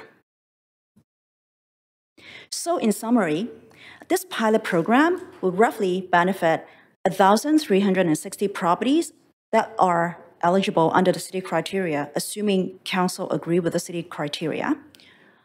And roughly um, between 5 to 55% of their assessed value will be subject to lower tax rate. However, the, ma the majority of those uh, reduction will be in the realm of 25 to 45% of, of the relief, but the range is a, a lot wider. And then also up to $5.4 million cap. And the tax rate is going to be 50% lower than the normal blended class 5 and 6 tax rate and property owners must notify their tenants of tax relief in order to qualify. And the other thing we just want to highlight is that we are we were under very tight um, time frame because we only got our completed assessment roll back in January and we had roughly six weeks to get a pilot program in place. Is it perfect? Absolutely not. Um, do we have enough, um, I would say, engagement with all the key stakeholders? Not a lot in terms of program design, but we have been um, updating um, our key stakeholders just basically pure, would say, project update um, every so often so that they know that we are working hard to get something going in year 2023, assuming, uh, uh, and for, for council consideration. And also, um, cannot uh, reiterate um, uh, uh, uh, strong enough, um, our ability and the quality of the, the data, it is, um, it is very important. And then we really need to work with BC Assessment and the province to keep um, enhancing the data quality and also completeness so that it can actually keep informing uh, cities' um, criteria and also provincial criteria as well. And the other thing is that, as I mentioned before, the interface between this pilot program and the targeted averaging is very complicated. That's why council is presented with both programs at the same time. So in conclusion, since Bill 28 came to effect in November 2022, we have been hearing from all other municipalities or a lot of other Metro Vancouver municipalities that they're very interested in considering this.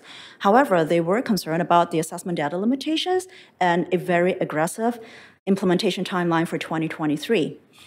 Staff acknowledge this, and we keep reiterating this. However, we have also been hearing from the key stakeholders that they do need something going this year. Hence, um, we provided council with a pilot program, starting small, keep refining and keep expanding potentially in the future, um, and like how can we best possible uh, how can we implement this in the best possible way to provide the much needed relief to independent businesses and community partners? As well, more importantly, is because we fully intend to work with the key stakeholders, looking at the pilot program, what have we done well, what have been missing, so that in the future we can actually incorporate those enhancements in future programs as well. So that concludes the presentation on the Pilot Development Potential Relief Program. The following sections, I'm going to talk about the Targeted Land Assessment Averaging Program. This, very different from the Development Potential Program, is really a tool to target the assessment volatility. What it means by uh, what it means uh, is that um, we engaged the Property Tax Policy Review Commission a couple years ago, and this is their suggestion. Instead of basically really um, impacting every single property, we should really identify what are the hot properties that need tax relief, and what is deemed a hot property any of the properties that have experienced an unanticipated year-over-year increase in assessed value that is 10% um, higher than the class average change, then that is considered as a hot property.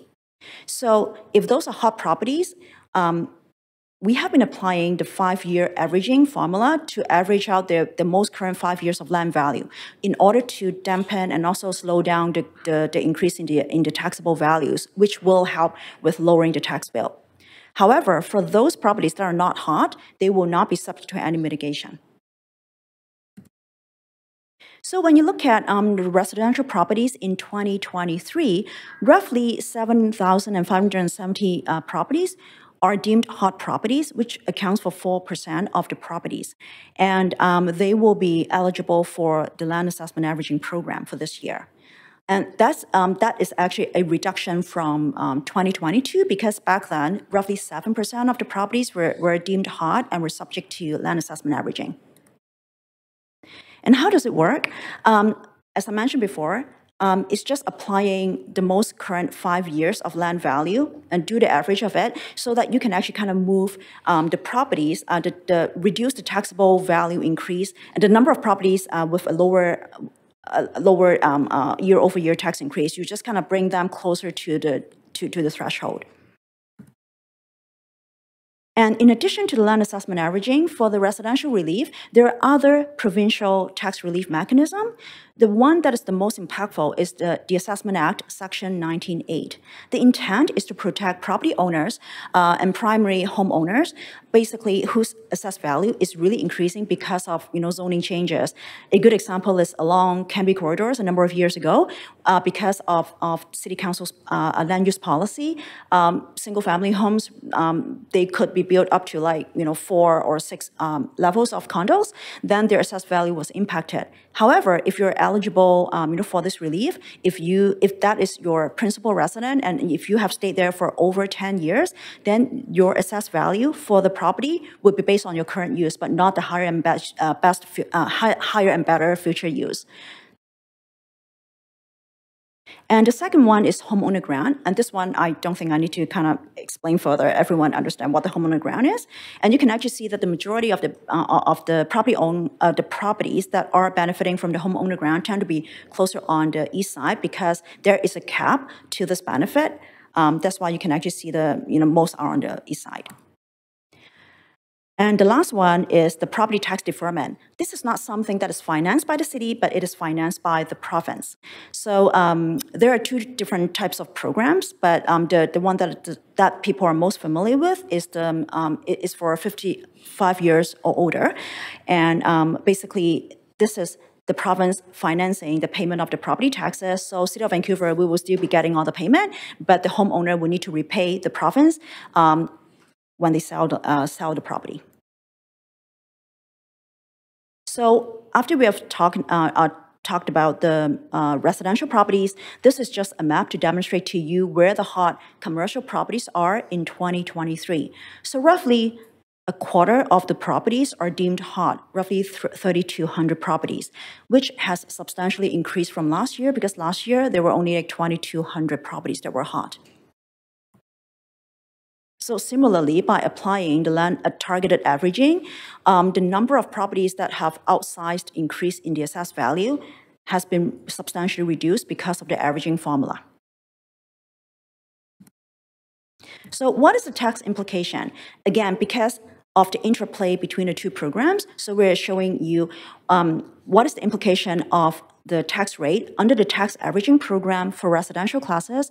It will be roughly um, a, uh, 0.2% increase in the tax rate to compensate for the tax relief provided to the hot properties. And for um, resident, sorry, uh, for light industry and business classes, it just purely from the averaging program, there will be roughly 1.5% increase in the tax rate in order to subsidize the, um, those hot commercial properties.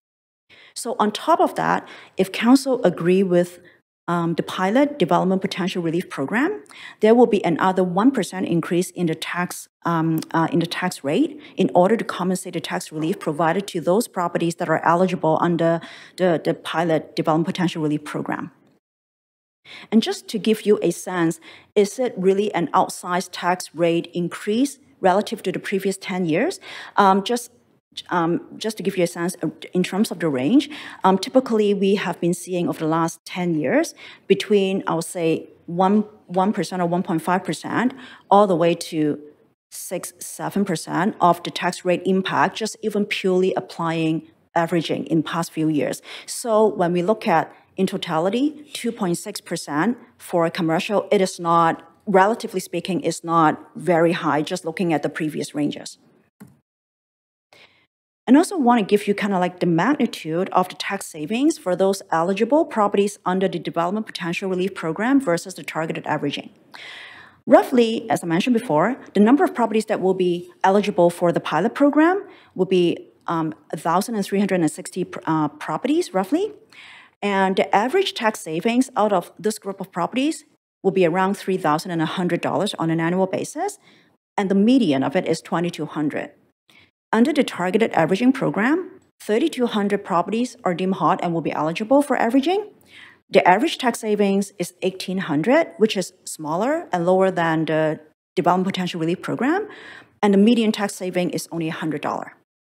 So the tax impact for those ineligible light industry and business properties as a result of the two relief program and what they need to contribute more to, to, to pay for the relief, um, for an av- uh, the average city tax impact for an ineligible property under the pilot program is roughly $360 on an annual basis incremental tax, but the median in incremental tax for those ineligible properties is only $50.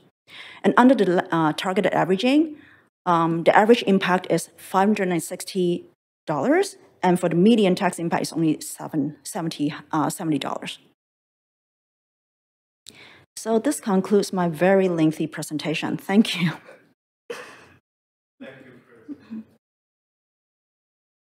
Hey, thank you, Chris. Lots of information here. So you do have a lot of questions.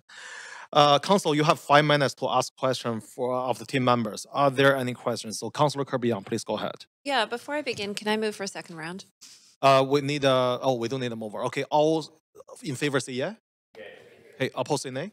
Okay, motion carries. Okay, thank you. So thank you, Grace, for the very comprehensive presentation and the Herculean amount of work in six weeks. Appreciate it. I have a number of questions. I think some are going to be simple clarifications. I'm going to try to whip through them. Um, the first one is respect to what we anticipate for pickup. Um, and I know that this is a pilot um, and people are looking for some relief. There's been advocacy going on for a long time, but I'm looking at recommendation B uh, where it says that properties that fail to provide written directions to city by March 31st, recognizing that it's March the 8th today, so only a few weeks away, will not receive uh, relief under the DPRP. So does that mean, are we going to end up in a situation where my landlord notified one small business, but the neighbor next door didn't? And how are we going to do that outreach? Um, this is a very good question. So what we have done is, um, in I think there was um, a news article just earlier on last week. Um, it actually kind of um, flagged um, property owners and also tenants. They should really look at the list of properties that that is attached to our report to see if their address actually appear on it, and then if if if the address appear on it, they need to proactively engage their landlord just to make sure that their landlord So just to be really clear, somebody's not automatically in this. They have to opt in and their landlord has to notify them and they have to get back to the city by March 31st. Is that right? They meaning whoever needs to certify is actually the property owner. It's not the tenants. Right, but it's like the city's not automatically moving this and your property's automatically in, the ones we've identified. Like, we would have to hear back from them. So We need to, and, and there's a reason for that. I can actually explain that. We want to make sure that there will be properties that when they certify back, just assume that the case that they say, sorry, our property was actually vacant as of October 31st in the preceding year. I- I they would not be qualified for that, and then we need to move them back to the averaging, uh, averaging program. And the averaging, there's a deadline. That's why we're setting end of March. Okay, However, I, I understand. How are we communicating with people to let them know that and to get that? We are, we are pushing out the written um, letters to the property owners. Basically, once council approve it, we will be ready to go end of this week and early next week. We are also engaging our, um, um, setting something on the web as well as 311. So um, knowing that, you know, the mailing back and forth, it may take um, much longer. So we want to kind of enable the electronic way of submitting this as well. We're trying to make everything possible in a very kind of short time. I'm going to keep going because I have a lot of questions. Um, so in the comparison that you showed, because sometimes people feel there's going to be winners and losers in this situation, and in the comparison that you showed between the DPRP and the targeted assessment averaging, um, is this a correct reflection back that this implementation of the DRPP in some cases could cost less for businesses than if they're subject to the targeted averaging? This is not necessarily more costly because you had that chart that showed under DRPP, uh, a, one business might be paying an additional 360 they're not part of this, and another one might be paying 560 with targeted averaging. Um, th- basically, that table is just to show that whoever are not eligible for those two programs, this is how much you need to pay more to subsidize the relief. That, that's all it is about. Exactly. So there are businesses that are paying more with target averaging that are not necessarily part of it now. So this is a similar, what I'm getting at is that dependingly, there could be some folks that actually, they may not be part of the program, but they could actually save potentially. Oh, yeah, if, yeah, if, if they're not in this program, they could be in the averaging program, yes. Okay, all right. So, because people are always worried, well, if some people pay less than I pay more, but it's not that simple, is what I'm hearing. It's not that simple, yeah. Okay, uh, moving on, why are we including um, the industrial light class when sort of the problem that we're, as you said, that we're solving for was really to provide relief for small businesses, arts and culture, et cetera? So why is the light industrial class five included?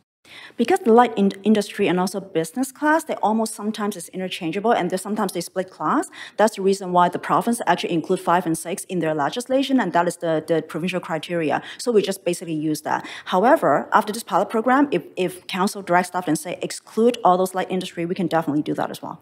Okay, uh, the triple net lease, uh, which is a big thing because it's uh, always been a problem since it gets passed down. So, just to confirm really clearly in simple terms, if someone participates on this, or if they have a triple net lease and their property is eligible and their landlord says yes, savings will automatically get passed down to the tenant based on. Through the contract, So the through the will- agreement, they should. The landlord will not be able to keep the savings if someone has a triple net lease. That goes to the tenant.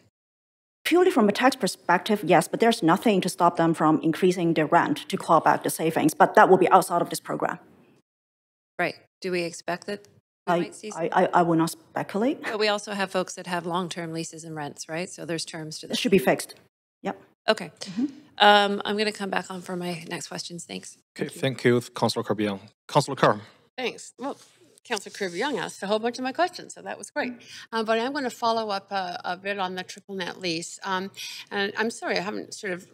You have to remind me of what the language of it is. But is it basically in those leases that um, the uh, uh, the the whole amount of the tax gets passed on uh, to the uh, leasee? Okay. Correct. All right, okay, so they, basically, the being informed part of it, uh, make sure that the renters, the lessees, actually look for that decrease. Is that, Correct. That, that, that is the intent that we're recommending council to include in the bylaw, which is a requirement in order for the property owner to get relief. that's a, that's a, that's a very thoughtful requirement. And by the way, thank you for, you take such complicated subjects and make them understandable, so I really appreciate that. Um, uh, uh, One thing we haven't discussed and we normally do at this point in time is that implicate, or the impact of our changing land uses, so the plans, et cetera. Are we seeing already the impact of the Broadway plan in terms of hot properties? Um, I, I think this is something that I'd rather kind of maybe leave it with the planning department to look at it. But I have to say, at the very start, before we came to council to conclude, you know, on the Broadway plan, uh, because of the, the DCE, the development contribution expectation, it really helped dampen um, the, I would say, the, um, the assessed value kind of um, uh, spikes. So that was a very effective tool, I have to say. And just on top of it, um, city staff has been working with BC Assessment, and we have been collecting assessed value to keep monitoring those areas on a year-over-year basis. I think we got like 11 years worth of data to really analyze what is the implication as a result of council policy changes, and how does that impact the assessed value um, with the DCE in place. So I mean that will also inform, uh, you know, our policy recommendation to council as well going forward. Um, uh, you would understand uh, better than anyone the distribution of hot properties. Is there anything in particular you can point to in terms of council's decision making, policy changes, et cetera, um, that are influencing the distribution of increased values? I, I would say the, the, the simplest one is kind of number of years ago. That is really classic example. Cambridge Door corridor, single family homes. I remember it was at the height of the market. How many years ago? 2017. Um, there was one single family uh, home. Um, I think it was 11 something million dollar asking price. 11 it was yeah, that's what I 11, yeah. remember stuck in my head. Yeah. So I, yeah, that's clearly is because of the plan. Yeah. Okay, that was in a land assembly, the last one. Okay, thanks very much. Those are my questions. Okay, thank you, Councillor Carr. Councillor Fry. Thanks, Grace. Uh, This is, I know this represents a ton of, a lot of work and conversations we've been having for some time, and, um, and appreciate it rep- represents years of work and, and new initiatives from the province. Um, But, there's always the big but. Um, this is a, a a- up to a maximum of five years. And we know that highest and best use for some of these properties, I mean, we won't see them redeveloped within five years. So we, in five years, we'll probably see many of these particular properties will still be a one-story restaurant in a, in a hot area. What are we looking at five years from now? Do we have thoughts on how we can tame this then? Because this obviously could be a big shock to those businesses after mm-hmm. five years. Yep, this is understandable. And this concern has been flagged. I, I guess what I would suggest is that once we get going with be it a pilot program or a more permanent kind of program, all these kind of feedback and all the observations that we have, we can actually continue to engage the province to see is the, if there's any appetite to either extend um, the, the time limit for whatever you know very special circumstances or they need to maybe look for some other tools i don't know but i think um, yeah i've been hearing this concern as well but there's also the flip side of it if um, if by council policy or legislation keep reducing the carrying cost for an unlimited amount of time in, in a way, it's almost dampening um, the objective and the intent of having community plans and ODP to to redevelop non-highest and best use properties, to deliver housing, to deliver job space. So I think we need to kind of balance the two. But um, yeah, we can definitely kind of provide feedback to the province to see if they can consider changing that. So on that note about ODPs and planning, is there potential room to finesse some of our, our, our zoning considerations further to maybe protect some of these sort of assets we'd like to see stick around? Yeah, I, Part of the conversation? Yeah, as I mentioned before, I think the, the, the use of the DCEs are very effective. And also, um, the other thing I would say is that, in particular for Broadway, a lot of the additional density is really about rental housing. And, uh, and I think that, suppose, I'm, I'm not a real estate expert, but that would be very different from basically allowing a ton of condos, right? So maybe the spike shouldn't be that high, but I think I would be more comfortable having the planning department to talk about it. But um, Sure, yeah. And I don't see planning here today, so that's a conversation for another day. Um, Any special considerations that came out through this work on, on arts and cultural spaces, recognizing they don't have the same even capacity as, as a small business or ability to write off or any of those kind of things? Certainly, that's one of the ones we hear a lot about, and they sort of get lumped in as commercial spaces, but as we know, arts and cultural spaces don't have that same Right. revenue generation potential. Yeah, so um, I I would say that again, it's a pilot program. There are some arts and culture um, spaces that are that may not be eligible because of the criteria that was proposed to council in in the first year. Um, council can direct staff to kind of look at it or maybe expand it with special uh, um, consideration or criteria. And on top of that, I want to reiterate that for nonprofits in arts and culture, they can actually apply for city grant. So um, this program is not going to be the be all and all. It's not going to basically um, fix all the problems, but it could be one of the tools that council can deploy. So it could be between this program and the grants program to provide relief and assistance as well.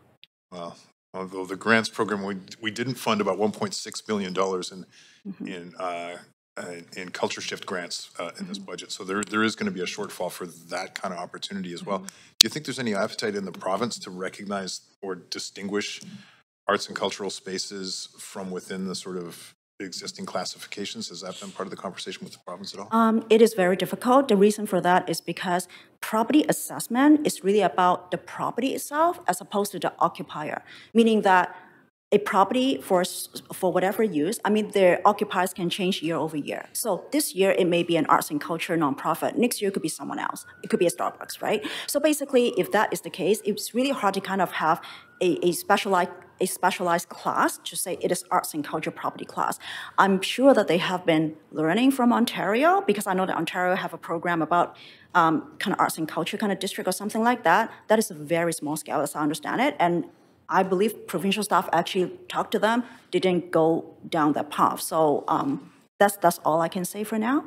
Okay, no, that's an interesting tip, though, that I'll look into about the Ontario approach. Thanks, Grace. Really, thank you. Thank you.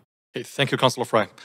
Okay, Councillor Zhou, myself now. Okay, uh, uh, so first, really thanks Patrice, Chris, and your team for this uh, for this program. I think a lot of works behind the scene. So my question is, this is a very complex program, the Development Potential Relief Program. So the calculation is really complicated. You know, with inclusion, exclusion, all those. How do we communicate these cal- uh, calculations to the community, especially given a very short timeline right now? We have like three weeks for, before March 31st.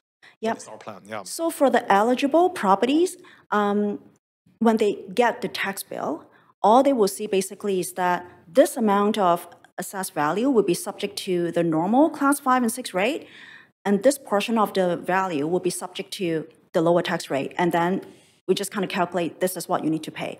And for all other properties, they will just look, they will just see a normal tax bill, but with a rate, with um, the five and six tax rate, which is the rate that they're getting as like any typical tax bill. So I don't believe the communication will be that difficult in terms of how much they need to pay or how much they're saving. Okay, but we need to explain the rationale, the Mm-hmm. reason for this program to all those property owners, right? So Right. That's I imagine that's a lot of communication to explain that. Yeah, I think I think all I can say is that because the, the timing has been very squished, so we haven't come up with like exactly like how we're going to communicate that, and I think we try to lay out a, bit clearer in the PowerPoint presentation. But we um, once we finish mailing out all those notification to just really um, start rolling out the certification process, we will look at putting something on our webpage to kind of explain that. So that is a work in progress. Okay, thank you. Mm-hmm. The second question is, have we engaged BIA and um, Board of Trade, the business community, to collect their feedback Mhm. for this program? Um, no, um, as indicated in the in the report, uh, we have been in, I would say, semi-regular, um, up, uh, providing semi-regular update to them ever since the um, ever since the, the legislation was um, came into effect in November 2022. What we told them is that staff. At, like we will be doing our utmost best to try to find something that may be implementable in 2023, and then we just kind of kept updating them where we are at, that kind of thing. And we have been very transparent, saying that because we only have like six weeks, um, it is a trade-off between how much engagement on the program design versus getting something in front of council for consideration in 2023. So they understood it, um, and we even gave them a high-level kind of thinking in terms of what potentially could be excluded versus included. So we have been quite transparent on that. But did we engage them? What is the implication for those exclusion and this and that? No, we didn't because um, time just didn't allow it. Okay, thanks. So then moving forward, do we have an engagement plan for the business community? Absolutely. Um, in the recommendation, we specifically said that council please direct staff to have a full-blown engagement with our stakeholders to really assess the efficacy of this pilot program. For sure, we must have missed something because of the high-level kind of like thinking about criteria. For sure, we we might have included some some properties that we shouldn't have, or maybe we have excluded some properties that we shouldn't have excluded. So we fully intend to engage the stakeholders to really make next year's program a lot better, and that that is our commitment. Okay, thank you. My last question is, out of those 1,360 eligible properties, do we know how many are tenant, how many, you know, operate on their own business? Do we know? No, we, we don't. We can actually get the information from BC Assessment. Um, yeah, and, and that will be very good information that hopefully in the future we can actually analyze more so that council can further decide um, who you want to focus your, your relief as well, but mm, likely not for first year. Okay, thank you, Grace. That's all my question. Uh, Councillor Meiszner, you have the floor. Thank you, Chair. Uh, thanks, Grace, for all the work on this. I know it's uh, super complicated. Um, I was actually going to ask a question similar to Councillor Zhou's question they just asked about uh, the properties. So we don't know if there is an independent business, for example, in those properties. Are we? Do we know that information? Uh, we actually did sample tests. Um, I indicated in the report that in addition to relying purely on BC Assessment's data and the, the, the use code, I keep saying that my, my team became best friend of Google Maps and Van Maps. Basically, we actually did um, quite a number of um, sample um, properties in check to see like were they um, what are the businesses basically on site? Okay. you know whether they were um, uh, vacant or not you know last year but again we couldn't we cannot do 100% of testing. That's why we only did on a sample basis. That's the reason why in the declaration process we also want the property owners to certify that they do not belong to any of those exclusions. Okay, but the use code doesn't specify between, say, like McDonald's and a local cookware no, shop no that, that that is the challenge. That's why we we spend like hours and hours to on Google Maps. yes Van Maps as well yeah Okay, hopefully those are updated maps. Uh, Sometimes they can be old. Um, okay, good to know. And then, are there any learnings around unintended consequences that we've seen in other jurisdictions, or is that not possible because this is a new? It is new, and in, in fact, I would say that other municipalities are trying to look at us to look at unintended consequences before they even start doing anything. So, yeah. Okay, so we're the guinea pig.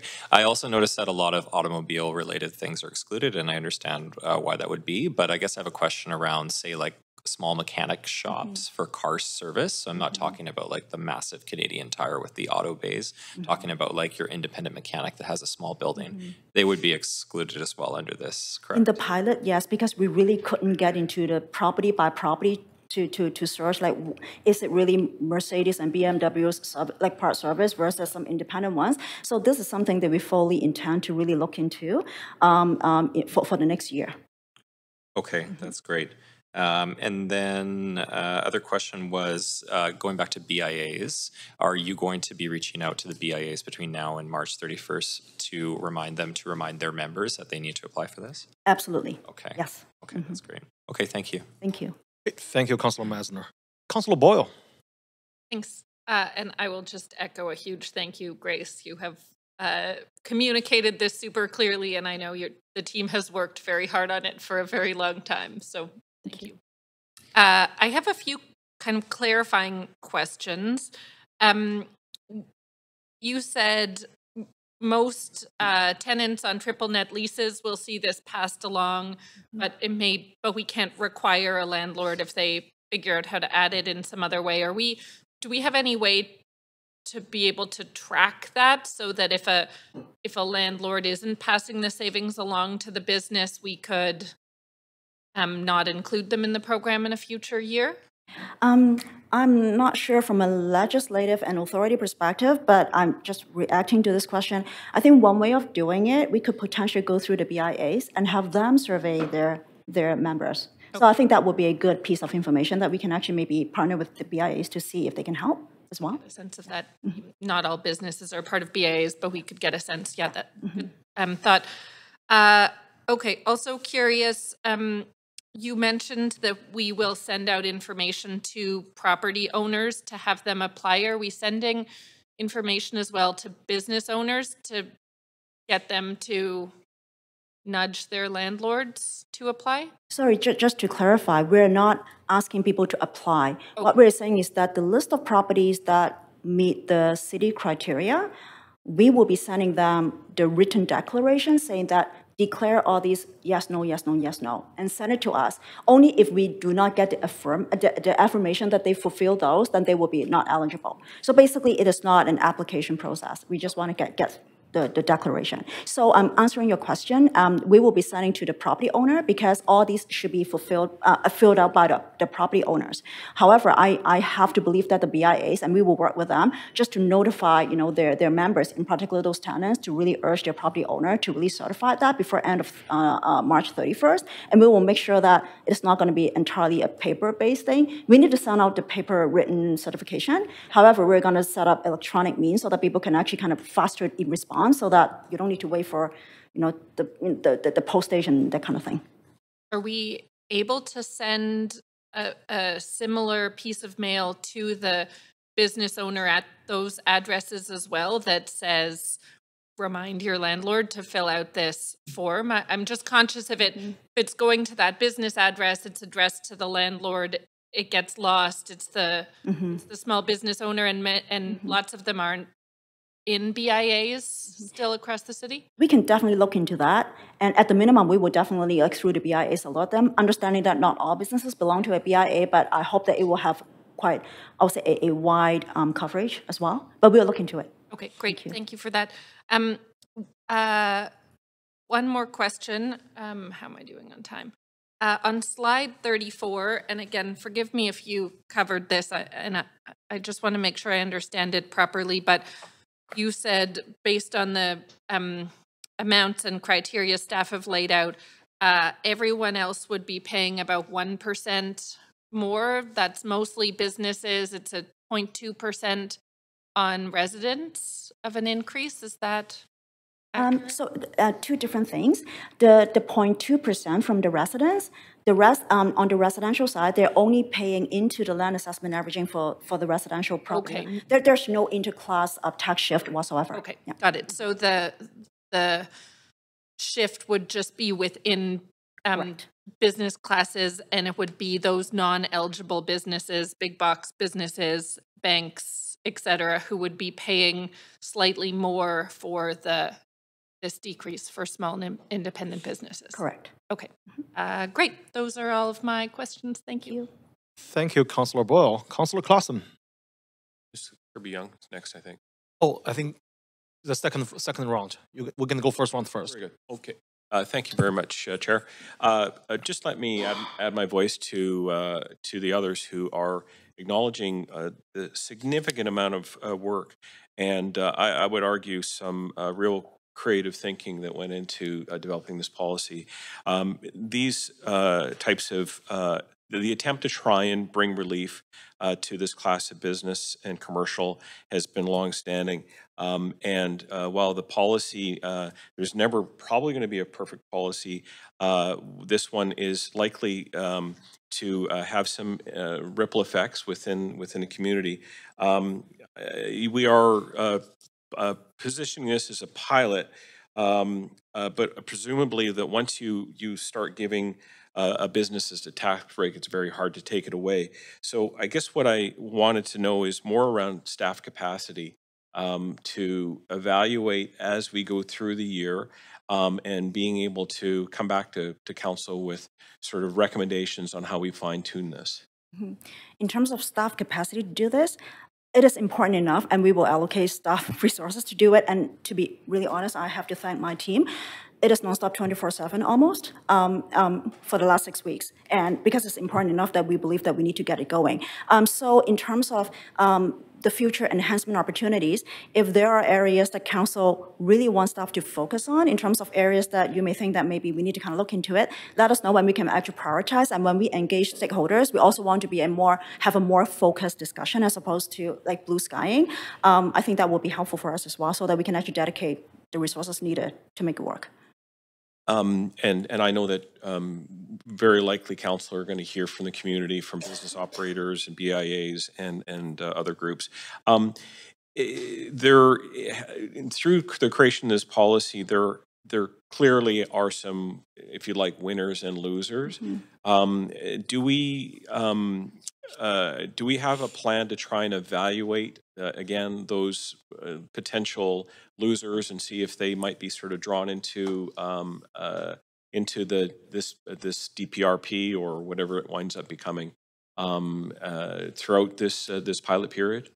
I, I think there there there there's an opportunity. The reason why I say that is because um, not all how should I say that? There are properties that have development potential challenges that are excluded from the city criteria because of the city criteria for the pilot um, year. So I think those will be the properties that we want to look harder into. Uh, in particular, those that are not like big boxes or, or chain stores, but some, as I think, uh, as mentioned before, some independent kind of mechanic shops. Maybe those are areas that we can actually look into to bring them under this program. And then at that time, I would just kind of emphasize that that it will be a trade-off and a discussion uh, with, with council to really understand the more people get into, or the more properties get into this program, the impact to the rest of the properties that have to pay for this relief will be higher. So there's always a trade-off, but that is a policy discussion and trade-off um, that should exist within council, and it's a policy question, it's not an assessment question. Of course. All right. Thank you. That's my questions, Chair. Thank you, Councillor Clausen. Councillor Kirby-Yung. Uh, Thanks, Chair. I have a f- follow-up question. I just want to be really clear in terms of the decision that council is being asked to make today. Um, And that is that this is, in terms of the time frame, this is for the 2023 tax year. Um, But council will be required uh, to make a f- decision for the 2024 tax year based on the information that comes back as to whether or not we want to continue. Is that correct?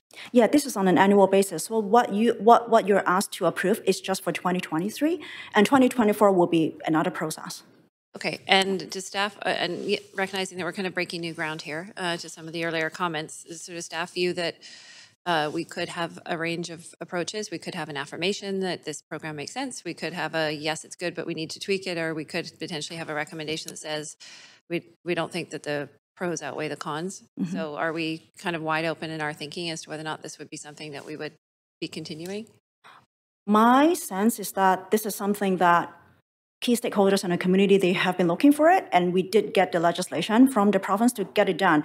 I think the majority of the question would be who is in and who is out, and who determine the criteria, and, and, and, and are, are- are there enough engagement to really understand and hear from both sides of, of the equation. I think that will be probably the feedback um, that will feed into next year. I, I personally don't see it to be going away. But one thing I want to kind of maybe alert council is that um, only the city of Vancouver has been using land assessment averaging, um, you know, uh, among all the BC municipalities. If going forward, council can also have a choice saying that instead of having like two very kind of complicated programs, all the interfaces and whatever, maybe focus the tax relief to tackle development potential, maybe phase out land assessment averaging, that is also, that could be considered as well. And that will also inform what the future of the development potential relief program could look like, right? So I think, yeah, all these are kind of like, I would say, multi-dimensional kind of review that we can actually bring back to council. Okay, so this is, if I can reflect that back, this is potentially taking us in a direction that we are becoming more surgical in our application of tax policy, really lasering in on where some of the challenges are as best we can. Absolutely. Okay, thanks, Chair. Um, and I'm not seeing anybody else in the queue. I'm happy to move the recommendations. Okay, thank you. Thank you, Councillor Kirby-Yung. Uh, seeing no other question on the queue, thank you so much, Chris and the team for the uh, for this uh, program. Uh, we will now hear from the public. We have to hear from the public. Yeah. We will now hear from the registered public speakers uh, for this item. The first one is uh, Yaro Yunis. Sorry for mispronouncing your, your name if I did. So is ya, ya, Yaros, are you on the line? Hi, yes, can you hear me? Hey, please go ahead. You have five minutes. Hello? Thank you. Uh, good morning, Council. My name is Jairo Yunis, and I'm the economist for Western Canada at the Canadian Federation of Independent Business the country's largest small business association, representing and voicing the interest of 97,000 small businesses in Canada, including 9,400 here in BC. I would like to start by commending city staff for really acknowledging the challenges. Sorry, Yana, sorry to interrupt you. Sorry, so I think people having some hard time to hear you. Can you speak louder, please? Oh, so, yeah, or maybe come closer to your speaker. It's a little bit muffled here. Hello, Yaros? Can you hear us? Hello, are you on the line? Oh, okay, he's disconnected. So I guess we can go to the second one and come back later, hey? Okay. Just one second, everyone. Okay, Yaro, I, uh, you, you, you're back on the line, right? Thank you. Sorry about that. Okay, uh, I just wanted yeah, to start by. Yeah, sorry. I, I just wanted to start by by commending city staff for really acknowledging all the challenges faced by small independent businesses in Vancouver that are affected by development potential taxation and all the hard work they've done in creating this pilot program. We also really appreciate the very transparent engagement we've had from city staff on this issue. And we understand that this is a very complex topic. And the proposal put forward by staff, we think, is a good first step towards finding a solution. Um, however, we do have some concerns with the pilot program, some that have been addressed by councillors with their questions. First, uh, the cost of the development potential relief uh, provided to some businesses will be borne by properties within the same commercial property class meaning some businesses will have to pay more so others can receive financial relief. Uh, this is a big cause for concern, especially in the context of the city's 10.7 property tax hike. Um, this hike, coupled with inflation, labor shortages, and slower economic activity, is sustainable moving forward and will affect some small businesses. Um, it is also important to note that commercial properties account for only 19% of total property assessment value, but they pay 40% of all property taxes. Uh, they also face a property tax rate almost 3.4 times higher than residents. So, and despite the recent tax shift, uh, the current property tax distribution in Vancouver, as I mentioned, remains uh, you know balanced. So, to ensure a fair and balanced approach that benefits small businesses and the larger community, we believe council should review the current property tax distribution and do another tax shift, not only to alleviate the burden, but to also complement this relief program that's being proposed today. Um, our second concern with the pilot program is that the criteria used to provide relief might appear to be a bit high level, a bit subjective, but that's due to a lack of clear and incomplete and complete data from BC assessment. Uh, this might result in some properties not getting the relief they need, and it's, quite a concern. This these concerns also stem from the fact that the province provided municipalities with this legal tool to Bill 28, 28 to provide property tax relief to businesses, but really failed to offer adequate administrative support and necessary resources to, to successfully implement this policy. And that's something we have heard from several other municipalities that want that really want to provide property tax relief for businesses, but really can't because they don't have the resources or they don't have the operational capacity to do it. And they are also concerned uh, about BC assessment data limitations. But overall, the pilot program is a good first step in providing solutions to skyrocketing property tax bill. And we understand that the quick rollout of this program, given the, the, squeeze, the squeeze timeline, may not be smooth, and that some businesses will be left out. But we also know and acknowledge that some relief is better than no relief. So moving forward, we believe it is very important that the city continues open and transparent engagement about about how the implementation of the program is going. It is critical that, that, that city staff continues consultation with the business community, as this is key to ensure the city receives very valuable insights and feedback on what is working, what is not, and, um, and how to improve the program. Thank you for your time and, and consideration. Thank you, Yarrow. Thank you for speaking to council. Seeing no other question, we're going to move to the second one. Second one is uh, David Van Hammond. Uh, David, is, are you on the line? I am, yes. Thank you, Councillor. Yeah, go ahead, David. Okay, my name is, uh, as said, my name is David Van Hemmen, and I'm representing the Greater Vancouver Board of Trade. Today I'm speaking in, in favor of targeted land assessment averaging recommendations F through I, and seeking that Council instruct staff to delay a decision on the implementation of the proposed development potential relief pilot in favor of additional consultations. Uh, but first, I wanted to, to start my remarks by recognizing International Women's Day. We're so fortunate um, to have the benefit of fantastic uh, women leaders in the city and in the chamber today. And as a father of three daughters, I'm, I'm proud to be able to celebrate our political leaders, all the staff at at City Hall and women throughout the city. It's a, it's an honor today to lift up women and, and to say thank you. Um, with regards to the presentation today, I also wanted to thank staff for the work and advocacy at various tables over the years regarding the challenges faced by businesses being unfairly taxed by development potential. Specifically, that many businesses are being taxed at the commercial rate for that potential uh, for, for uh, residential uh, potential. Uh, we're also understanding of the fact that staff have worked diligently following the passage of that provincial legislation to pull together the solution uh, before council today. And, also, as Jairo mentioned, that the city is working under those new legislative parameters, not the original solution that was put forward by, by staff collectively uh, with stakeholders. Um, our concern in asking for the delay is that the proposal appears to stray uh, too far from the initial challenges and ends up choosing some very specific winners and losers instead of a principles based approach that we had endorsed in the past. In effect, the pilot proposed is making decisions and value judgments to figure out which businesses should benefit or not, um, and we think that that could have some negative consequences for a, a good portion of our members. I do think it's instructive that nearly one third of the properties in Class 5 and 6 were deemed eligible under provincial legislation, 3,400 of them, uh, but only 1,361 are being offered relief. Uh, we have many businesses operating uh, throughout the city in, in office buildings and industrial properties in a variety of different spaces, and we know from the staff report that nearly 200 office buildings uh, that are affected are being excluded. We also know that over 300 industrial buildings are uh, excluded, and we don't know the specific reason uh, for why um, all of those properties are being excluded. And many of these office and industrial buildings host important um, and high tech businesses critical to Vancouver's future, whether it's up and coming AI firms, AR, VR companies, or local food processors.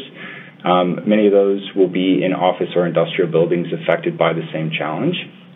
And at the same time, we've seen since uh, 2009 um, to, to 2019, at least for our analysis, we've seen that kind of average light industrial tax rates have grown by 148%, or sorry, total tax rates have, have grown by 148%, while residential has only grown by 41 and that, um, as Jairo mentioned, businesses continue to pay a disproportionate percentage of, of taxes uh, compared to uh, services provided. Um, we also know that the uh, that the relief provided will come at a difficult time for the rest of uh, uh, businesses operating in class five and six. um, at a time when property taxes, property taxes are rising substantially, and the net effect would, would push already a very high tax year uh, to, to around 12% for the rest of businesses. That's why we think um, if and when relief is offered, it should be very clear that it's on a very fair basis, um, and it's very clear which um, um who's going to benefit and who's not. Um, I also believe that there's not enough time to fully assess whether or not the provincial rule of, of the 95% land value put in place is the appropriate approach to collectively solve the issue that we've been working on together. For example, this approach could provide a disincentive to invest in upkeep in the upkeep and maintenance um, of a particular independent build, uh, business or building. Um, and just finally, I want to be clear that I'm very sympathetic uh, to to the work that staff's being done, and of course to our wonderful and important independent um, and SME businesses, uh, hundreds or if not thousands that we represent um, as well in our membership. And, and there are so many that have been act- impacted negatively by COVID and lower foot traffic on retail streets uh, specifically. But at the same time, I think it's, um, as, as we look to move forward, it's important that the process be fair and that it works to solve the problem that we've initially agreed on uh, was there to begin with. So thank you very much for your time. Okay, thank you, David. You are right on time. Thank you so much. Uh, you do have a couple of questions. Councillor Kirby-Yung, please go ahead. Uh, yeah, thanks, Chair, and thanks, David, for being here. It's a really important conversation. Um, I just want to pick up on a couple of things that you said, um, and a lot of what you suggested. I think um, you said, for example, it only affects 1,300 um, properties, 3,400 had been excluded, et cetera, et cetera. Um, I'm wondering if you sort of would how you'd feel that um, based on what you've heard today, and I assume you've been listening to the presentation, that a number of those things will uh, be worked out throughout the consultation. So it could potentially have broader application, that this is sort of starting small, if you will. Um, so that's sort of the first part of the question. And the other one is, I wonder if you heard the comment or saw the slide with respects to this would have potentially a negligible impact relative to, say, the impact that targeted land averaging has, right? When you look at the actual cost impact of that for folks that are part of targeted land averaging that are not, you actually see, yes, there's an impact for folks that are part of this pilot program um, or not, but it appears to be less than the targeted land averaging. So I wonder if you can comment on those two things. Sure. Thanks very much for the question. I, maybe I'd, uh, to, to your second question first, I would say that, you know, a 1% increase on top of, you know, 10.7% uh, for for those that are excluded is still a significant. You know, it's it's it's a 10% increase of on top of another 10% increase.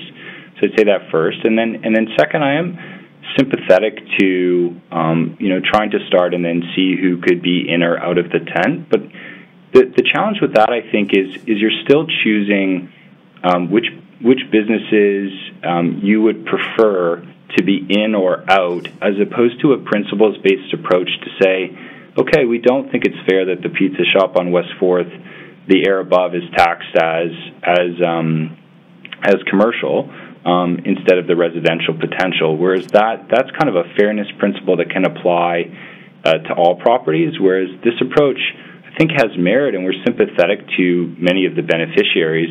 But it's hard to know what where that line would be and and how you would make those value judgments on on um, who should be in that or who should be out of that. Okay, maybe I can jump in with one other question because I appreciate your comments and I think staff are trying to do that work from what I've heard, like excluding the obvious folks like big box and gas. But my other question is really is like, do you have a perspective? What's the value of keeping those small businesses, uh, you know, in downtown or in our neighborhoods, like the arts and culture or the restaurants? Like if we lose them. Um, and I appreciate like everybody suffering from a tax burden, but we're obviously trying to provide some pretty targeted relief here. But from the Board of Trade's perspective, how important are those folks in our economic fabric?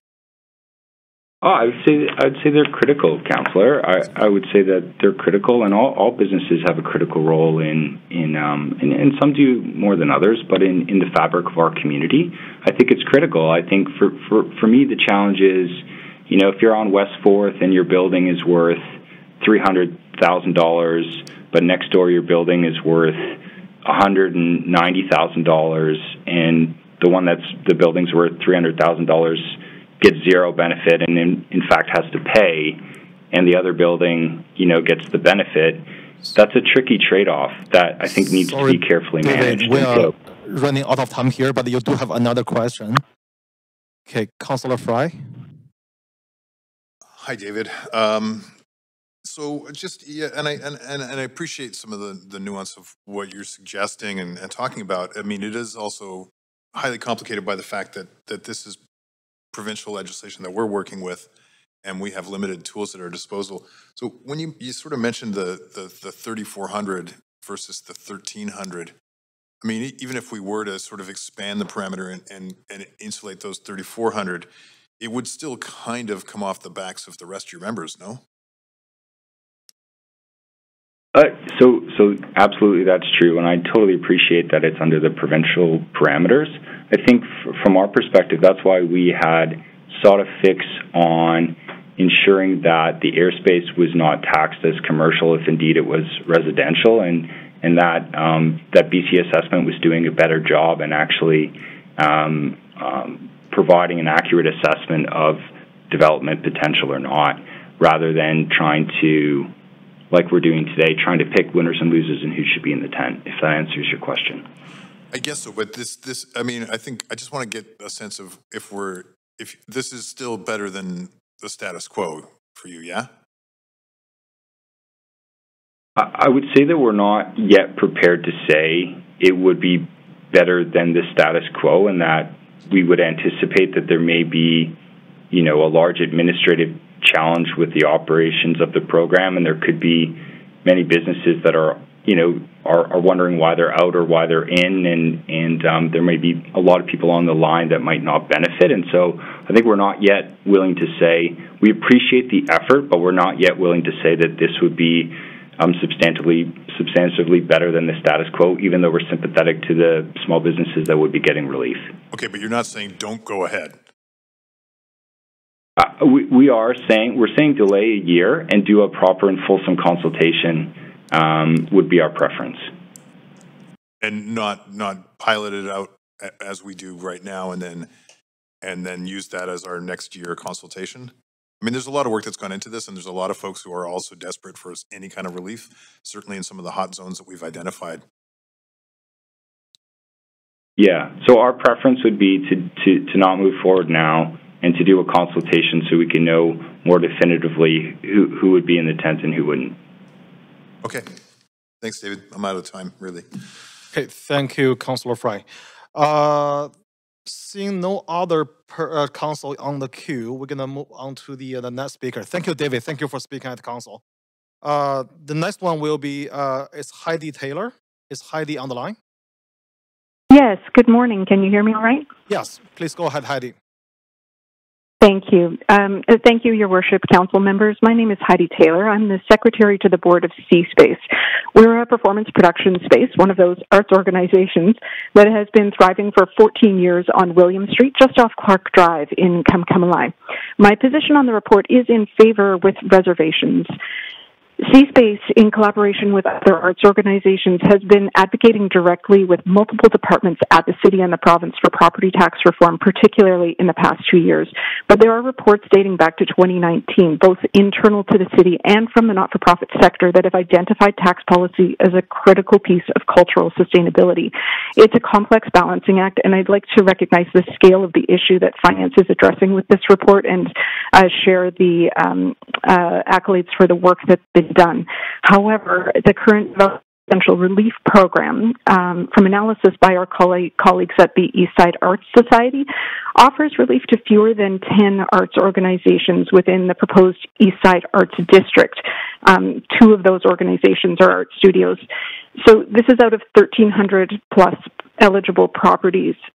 So we asked finance why our warehouse space um, isn't eligible despite apparently meeting the criteria and received the response that um, we just don't fit the use code uh, because of what's been assigned by BC assessment. So there's no clear on ramp to inclusion in the policy being offered, whether we need our use code to be changed or whether our use code will eventually be included in the future. I realize that this uh, policy had to be developed under short timelines, but what it looks like is that um, the continued reliance on highest best use as a foundation is failing to address the need to includes social value. So uh, we've heard today that every single underdeveloped property will be developed eventually.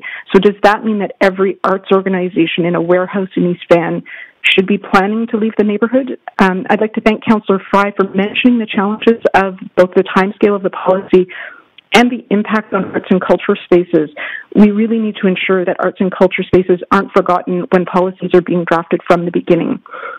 So the, the report suggests reviewing the efficacy of the policy for future years and consulting with community partners. But arts and culture organizations aren't community partners. We're also employers, workers, and engines for the local economy. So we need to take the future of the cultural sector seriously in the first round of policy development, not as an afterthought. Um, the province, uh, the program currently is deferring the responsibility for the affordability crisis to the hardworking team at Cultural Services, who are distributing grants that don't even cover our property taxes. Last year, C-Space received $26,500 in support. We were really grateful for that. We paid $29,500 in taxes. We're an arts organization with a budget under $300,000. And we're only one in the hundreds of organizations in the city and the hundreds of arts organizations in our neighborhood. I'd just like to point out there's an HR cost for the city to administer grants for us to pay property taxes. Um, the program doesn't address the urgent needs of arts and culture um, or individual artists in commercial triple net leases. And um, Cultural Services has been talking to finance about the way in which arts organizations are being left behind. So the answer that we can apply for grants is really inadequate and doesn't address the many policy recommendations that have come through in culture reports over the last four years. We really are committed to working with finance to develop a triage, hopefully for this year, and an articulated plan for the future. But the city really has to integrate its strategies between taxation policy, zoning, and cultural funding if you want to ensure the survival, particularly of arts production spaces in the city, which can't be tied to um, residential uh, property development. So um, I'm requesting that C-Space and other keystone cultural organizations like the Eastside Arts Society, whose buildings were excluded from this program, be considered for relief in this pilot year so that when there is data to review as the program is developed, um, it won't just be data recognizing the loss of more cultural spaces in our community. Thank you so much for your time and consideration. Okay. Thank you, Heidi. Thank you for speaking at the council. Uh, I think, you know, because of the time, we need a motion to pass 12 p.m. to finish this item. Also reconvene at council to deal with the recommendation today. Uh, so move by Councillor Boyle. Motion to, yeah. Okay. And now I think this is end of this. And move the, rec- move the recommendation. All in favor say yeah? Yeah. Yeah. Opposed say nay? okay, motion carries unanimously. Thank you. Okay, so this is the end of our speakers list. Thank you everyone for speaking to the council. Would someone like to move a motion? So moved. Councillor Kirby-Yung, moved by, moved by Councillor Kirby-Yung. Council, is there any discussion? Councillor Kirby-Yung, please go ahead. Right. Okay, so Councillor Kirby-Yung, can you add you uh, can we add Councillor Kirby-Yung to the main queue, please? Okay, please go ahead, Councillor Kirby-Yung. Okay, thank you, Chair. Um, this is a really important conversation, and um, this council and the council, uh, or the last council, I should say, and then the council before that, has been advocating longstanding for tax relief uh, to address the issue specifically of the highest and best use, um, and specifically the most impacted, um, which are the small businesses, typically the independents and arts and culture groups and others. Um, and we, I think we have to remember that the province did bring forward an interim solution, and not a single city or municipality took that up, including Vancouver, um, because it was onerous and it didn't really address the problem that we were trying to solve.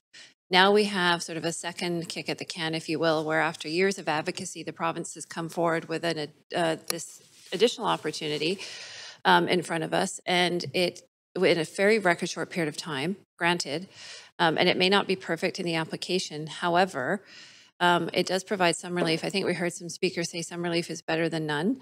It is very tricky in working and parsing through um, tax relief programs um, and the issue here. But I think when I take a step back and think about the issue we're trying to solve for, which were the sort of famous stories like chocolate mousse um, and others, groups like the Beaumont Art Studios, small restaurants in Marpole. We saw some examples of those that are really feeling that development pressure around them. This is a way that we can bring some tangible relief forward, I think, to those that need it most. I'm very sensitive to the comments, and it's very difficult when you're dealing with complex and interrelated tax policy and not having all the, the um, all the sort of outcomes and the known pieces around that. Uh, and I'm very sensitive as a result of that to the comments that we don't have all of the information about all of the properties, and that can make people nervous. Um, and we want to be supportive of our entire business community. Um, but I also think to the comments that you are only addressing uh, the 1,300, so 60 properties here, that's 1,360 that didn't have relief before. Um, and I think it, I view it as progressive improvement. And I do think that during the engagement process, which I fully believe staff are going to undertake um, to have some really meaningful conversations, whether it, across a range of stakeholders, whether it's with the Board of Trade, um, with the BIAs and others that we have heard, um, that this is an initial iteration of this program. And I think I fully expect that it will be uh, refined and implemented over time. And we will learn a lot from that implementation. But sometimes I think you have to kind of remember you can wait to make something perfect and try to figure out all the eventualities, or you can try to make it better now. Um, and strive to improve upon that moving forward. And sort of reminds me of the status quo is not an option. When I look at examples like a restaurant in Marpole that might save $7,200, um, or things like Treble Five Music uh, in Mount Pleasant that could save $12,500, we are rapidly losing um, a number of these arts and culture groups in the restaurants in the city. Really sensitive some of the speakers that we heard, um, such as Heidi from C Space, that not everybody may be captured, um, but there are different avenues. But again, do we want to not help some because we haven't made this perfect? I don't think so. Um, I'm comforted by the fact that everybody is going to receive their notices. So it's sort of less of an opt in program. It's you will receive the information and then you will need to complete your declaration. Um, so I think that's important. I also think um, that it was important to clarify that with triple net leases, um, the savings will be passed down uh, to tenants because they're required to do that by law. And no eh, landlords, because tenants are typically in multi-year leases, cannot tomorrow suddenly adjust their rents. Um, and so I think again, if we see that there might be a couple of bad actors that are trying to do that, that's what will work out um, and through the process in terms of looking at some of those details. Um, and I think too, um, I thought it was very illuminating to look at the examples of how the contrast between if you're a business and you are not part of targeted land averaging, for example, how are you impacted? Because you are supporting the rest of the businesses in your class and paying a little bit more. And if you are a business that is part of the DPRP um, and you're not part of it, how are you impacted? And the DRPP could result in some folks actually paying less. And so again, taxation is complex. It's a lot of information. I understand that um, there's going to be a lot to learn through this, but I do think it's important that we take some action to provide some relief moving forward. And I think that this is not set in stone. Um, as we said earlier, council can refine it in 2024. Uh, we can not continue it, um, or we can move forward if we find that it's hitting the mark. But I, my sense is that there's still going to be some additional work to do, but this is an improvement over what we have now. Um, based on the biggest need and and the folks and something that we've quite frankly long been advocating for. Um, and I'm really grateful to staff for their work on this. Thank you. Thank you, Councillor Kirby-Yung. Councillor Boyle. Thanks. I actually am hoping to ask a question through you, Chair, to staff, which is I'm wondering if we can just hear a bit more about what engagement um, can and will happen in the next year, particularly with the arts and culture sector, uh, about some of the concerns we heard from the speaker and that we hear regularly about the huge pressure on that on that sector. Yes, um, we we fully intend to um, um, include in our like stakeholder engagement, arts and culture, nonprofit, community partners, and also like BIAs and, and, and Board of Trade. The most important thing is I think we have been hearing loud and clear, not just from the arts and culture, but just simply about the BC assessment data limitation, basically because we rely fully on the use code. I think we need to have a better understanding how do they assign use codes, are they complete, are they accurate, are they updated? So basically that will be the first thing that we need to engage first and foremost. The second thing basically is also to look at the interplay between the grant program as well as um, the relief program, and also between this relief program versus the targeted land assessment averaging. So I will not say that it's a simple thing, but um, I think after we get over this billing cycle, we will start engaging. yeah. Okay, and and as a second question, just confirming our our own staff in um, arts and culture who who know this sector well and know the players and pressures will be in, will they be Absolutely. involved in that conversation? For sure. Yeah. Great, Appreciate that. Thank you.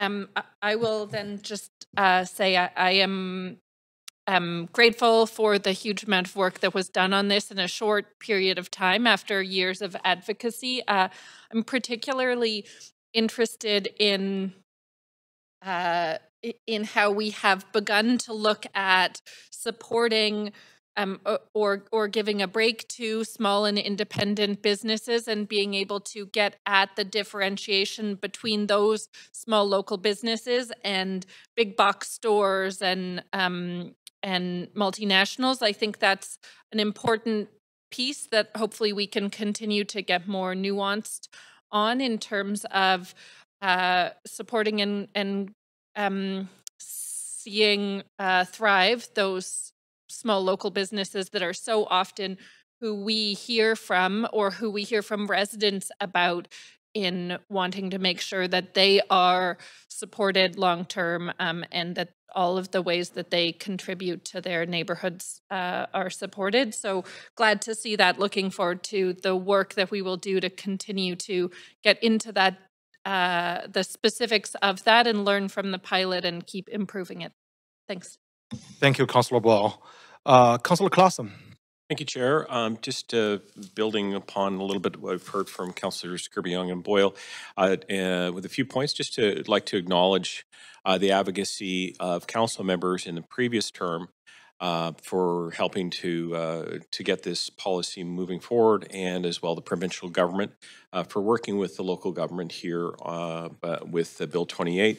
Um, we've known about the impact of the highest and best use property assessments and the fees resulting from triple net leases, uh, leases. And then we know that they've impacted the viability of small and independent businesses. businesses. Um, finding a solution to this complex challenge has uh, clearly taken a lot of time, and I appreciate the creativity of our staff in striking a balance and using the policy to narrow down the, the properties that uh, to be included at this for this pilot. Um, I also just uh, want to acknowledge that our small and in- independent businesses uh, really must work hard every day to to make payroll to benefit their staff, and that it's particularly challenging uh, in this time of inflation and other increasing costs. Uh, so, uh, and, and small and independent businesses are truly the lifeblood of our communities. And as a local government, we must continue to find ways to help them prosper. This policy is another piece in how we can make Vancouver a stronger place for small business. And I look forward to engaging with small businesses, property owners, and as well small biz, business advocates such uh, from our BIAs, uh, Board of Trade, uh, CFIB, and so on. Uh, so I'll be uh, voting in support of this item, and we'll continue to monitor and hear what we uh, get from the community during this pilot period. Thank you. Okay, thank you, Councillor Klassen. Councillor Fry. Thanks, Chair.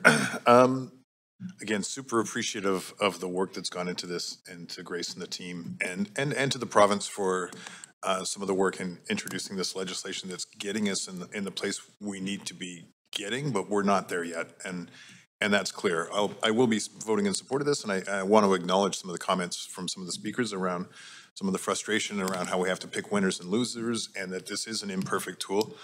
But as the old saying goes, we can't let the, uh, let perfect be the enemy of the good. And, and this is better than nothing for, for a lot of, a lot of, uh, uh, properties that are struggling in our city with, with highest and best use. Uh, and in reflecting on the, on the past council, this, this work that we were, this beast we were trying to tame, uh, we were unable to tame. And indeed, we saw, uh, businesses, uh, slip away, um, and arts and cultural spaces slip away as a result of unsustainable taxation burdens that they felt. Um, I do also want to really acknowledge the comments of, of Heidi and, and, and that these are reflective of, uh, from uh, C-Space, that just this is the tip of the iceberg for arts and cultural uh, practitioners in our city. Um, hear this all the time from the sector that they are struggling and and and and suffering, and we know that that arts uh, in general. Um, we punch way above our weight as a city with with arts and culture and practitioners, but we also have the lowest paid artists in in the country, and and that that dichotomy is really evident here when we see the, the struggles of arts and cultural practitioners trying to maintain spaces in a city that is increasingly difficult to do so. And, and, and, and we've, we've certainly given direction in the past around things uh, in the last term with the, the East Side Arts uh, District and, and, and looking at how we can better preserve cultural spaces. And I think that this is a big piece of some of the work that needs to go on, uh, that how we can better support. We know that in this last budget round, we had $1.6 million of unfunded uh, um, for, for the, the um, culture shift, which was specifically looking at, one of the many things was it was looking at the spaces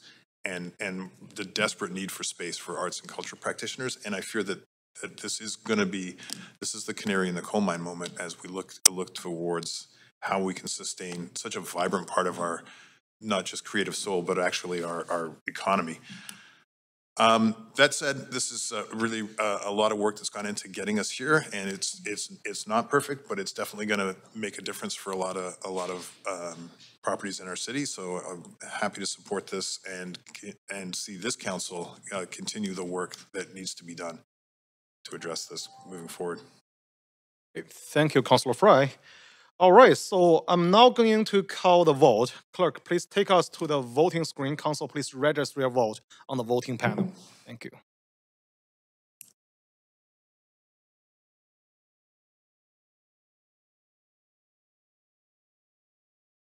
All right, so this uh, item uh, carried unanimously with uh, Councillor Bligh absent. That concludes the uh, last item on the, on the agenda. Thank you, everyone. So this uh, standing committee portion of this meeting is now complete. We will now convene in council with Mayor Sim as the chair to deal with the recommendations and actions from today's standing committee.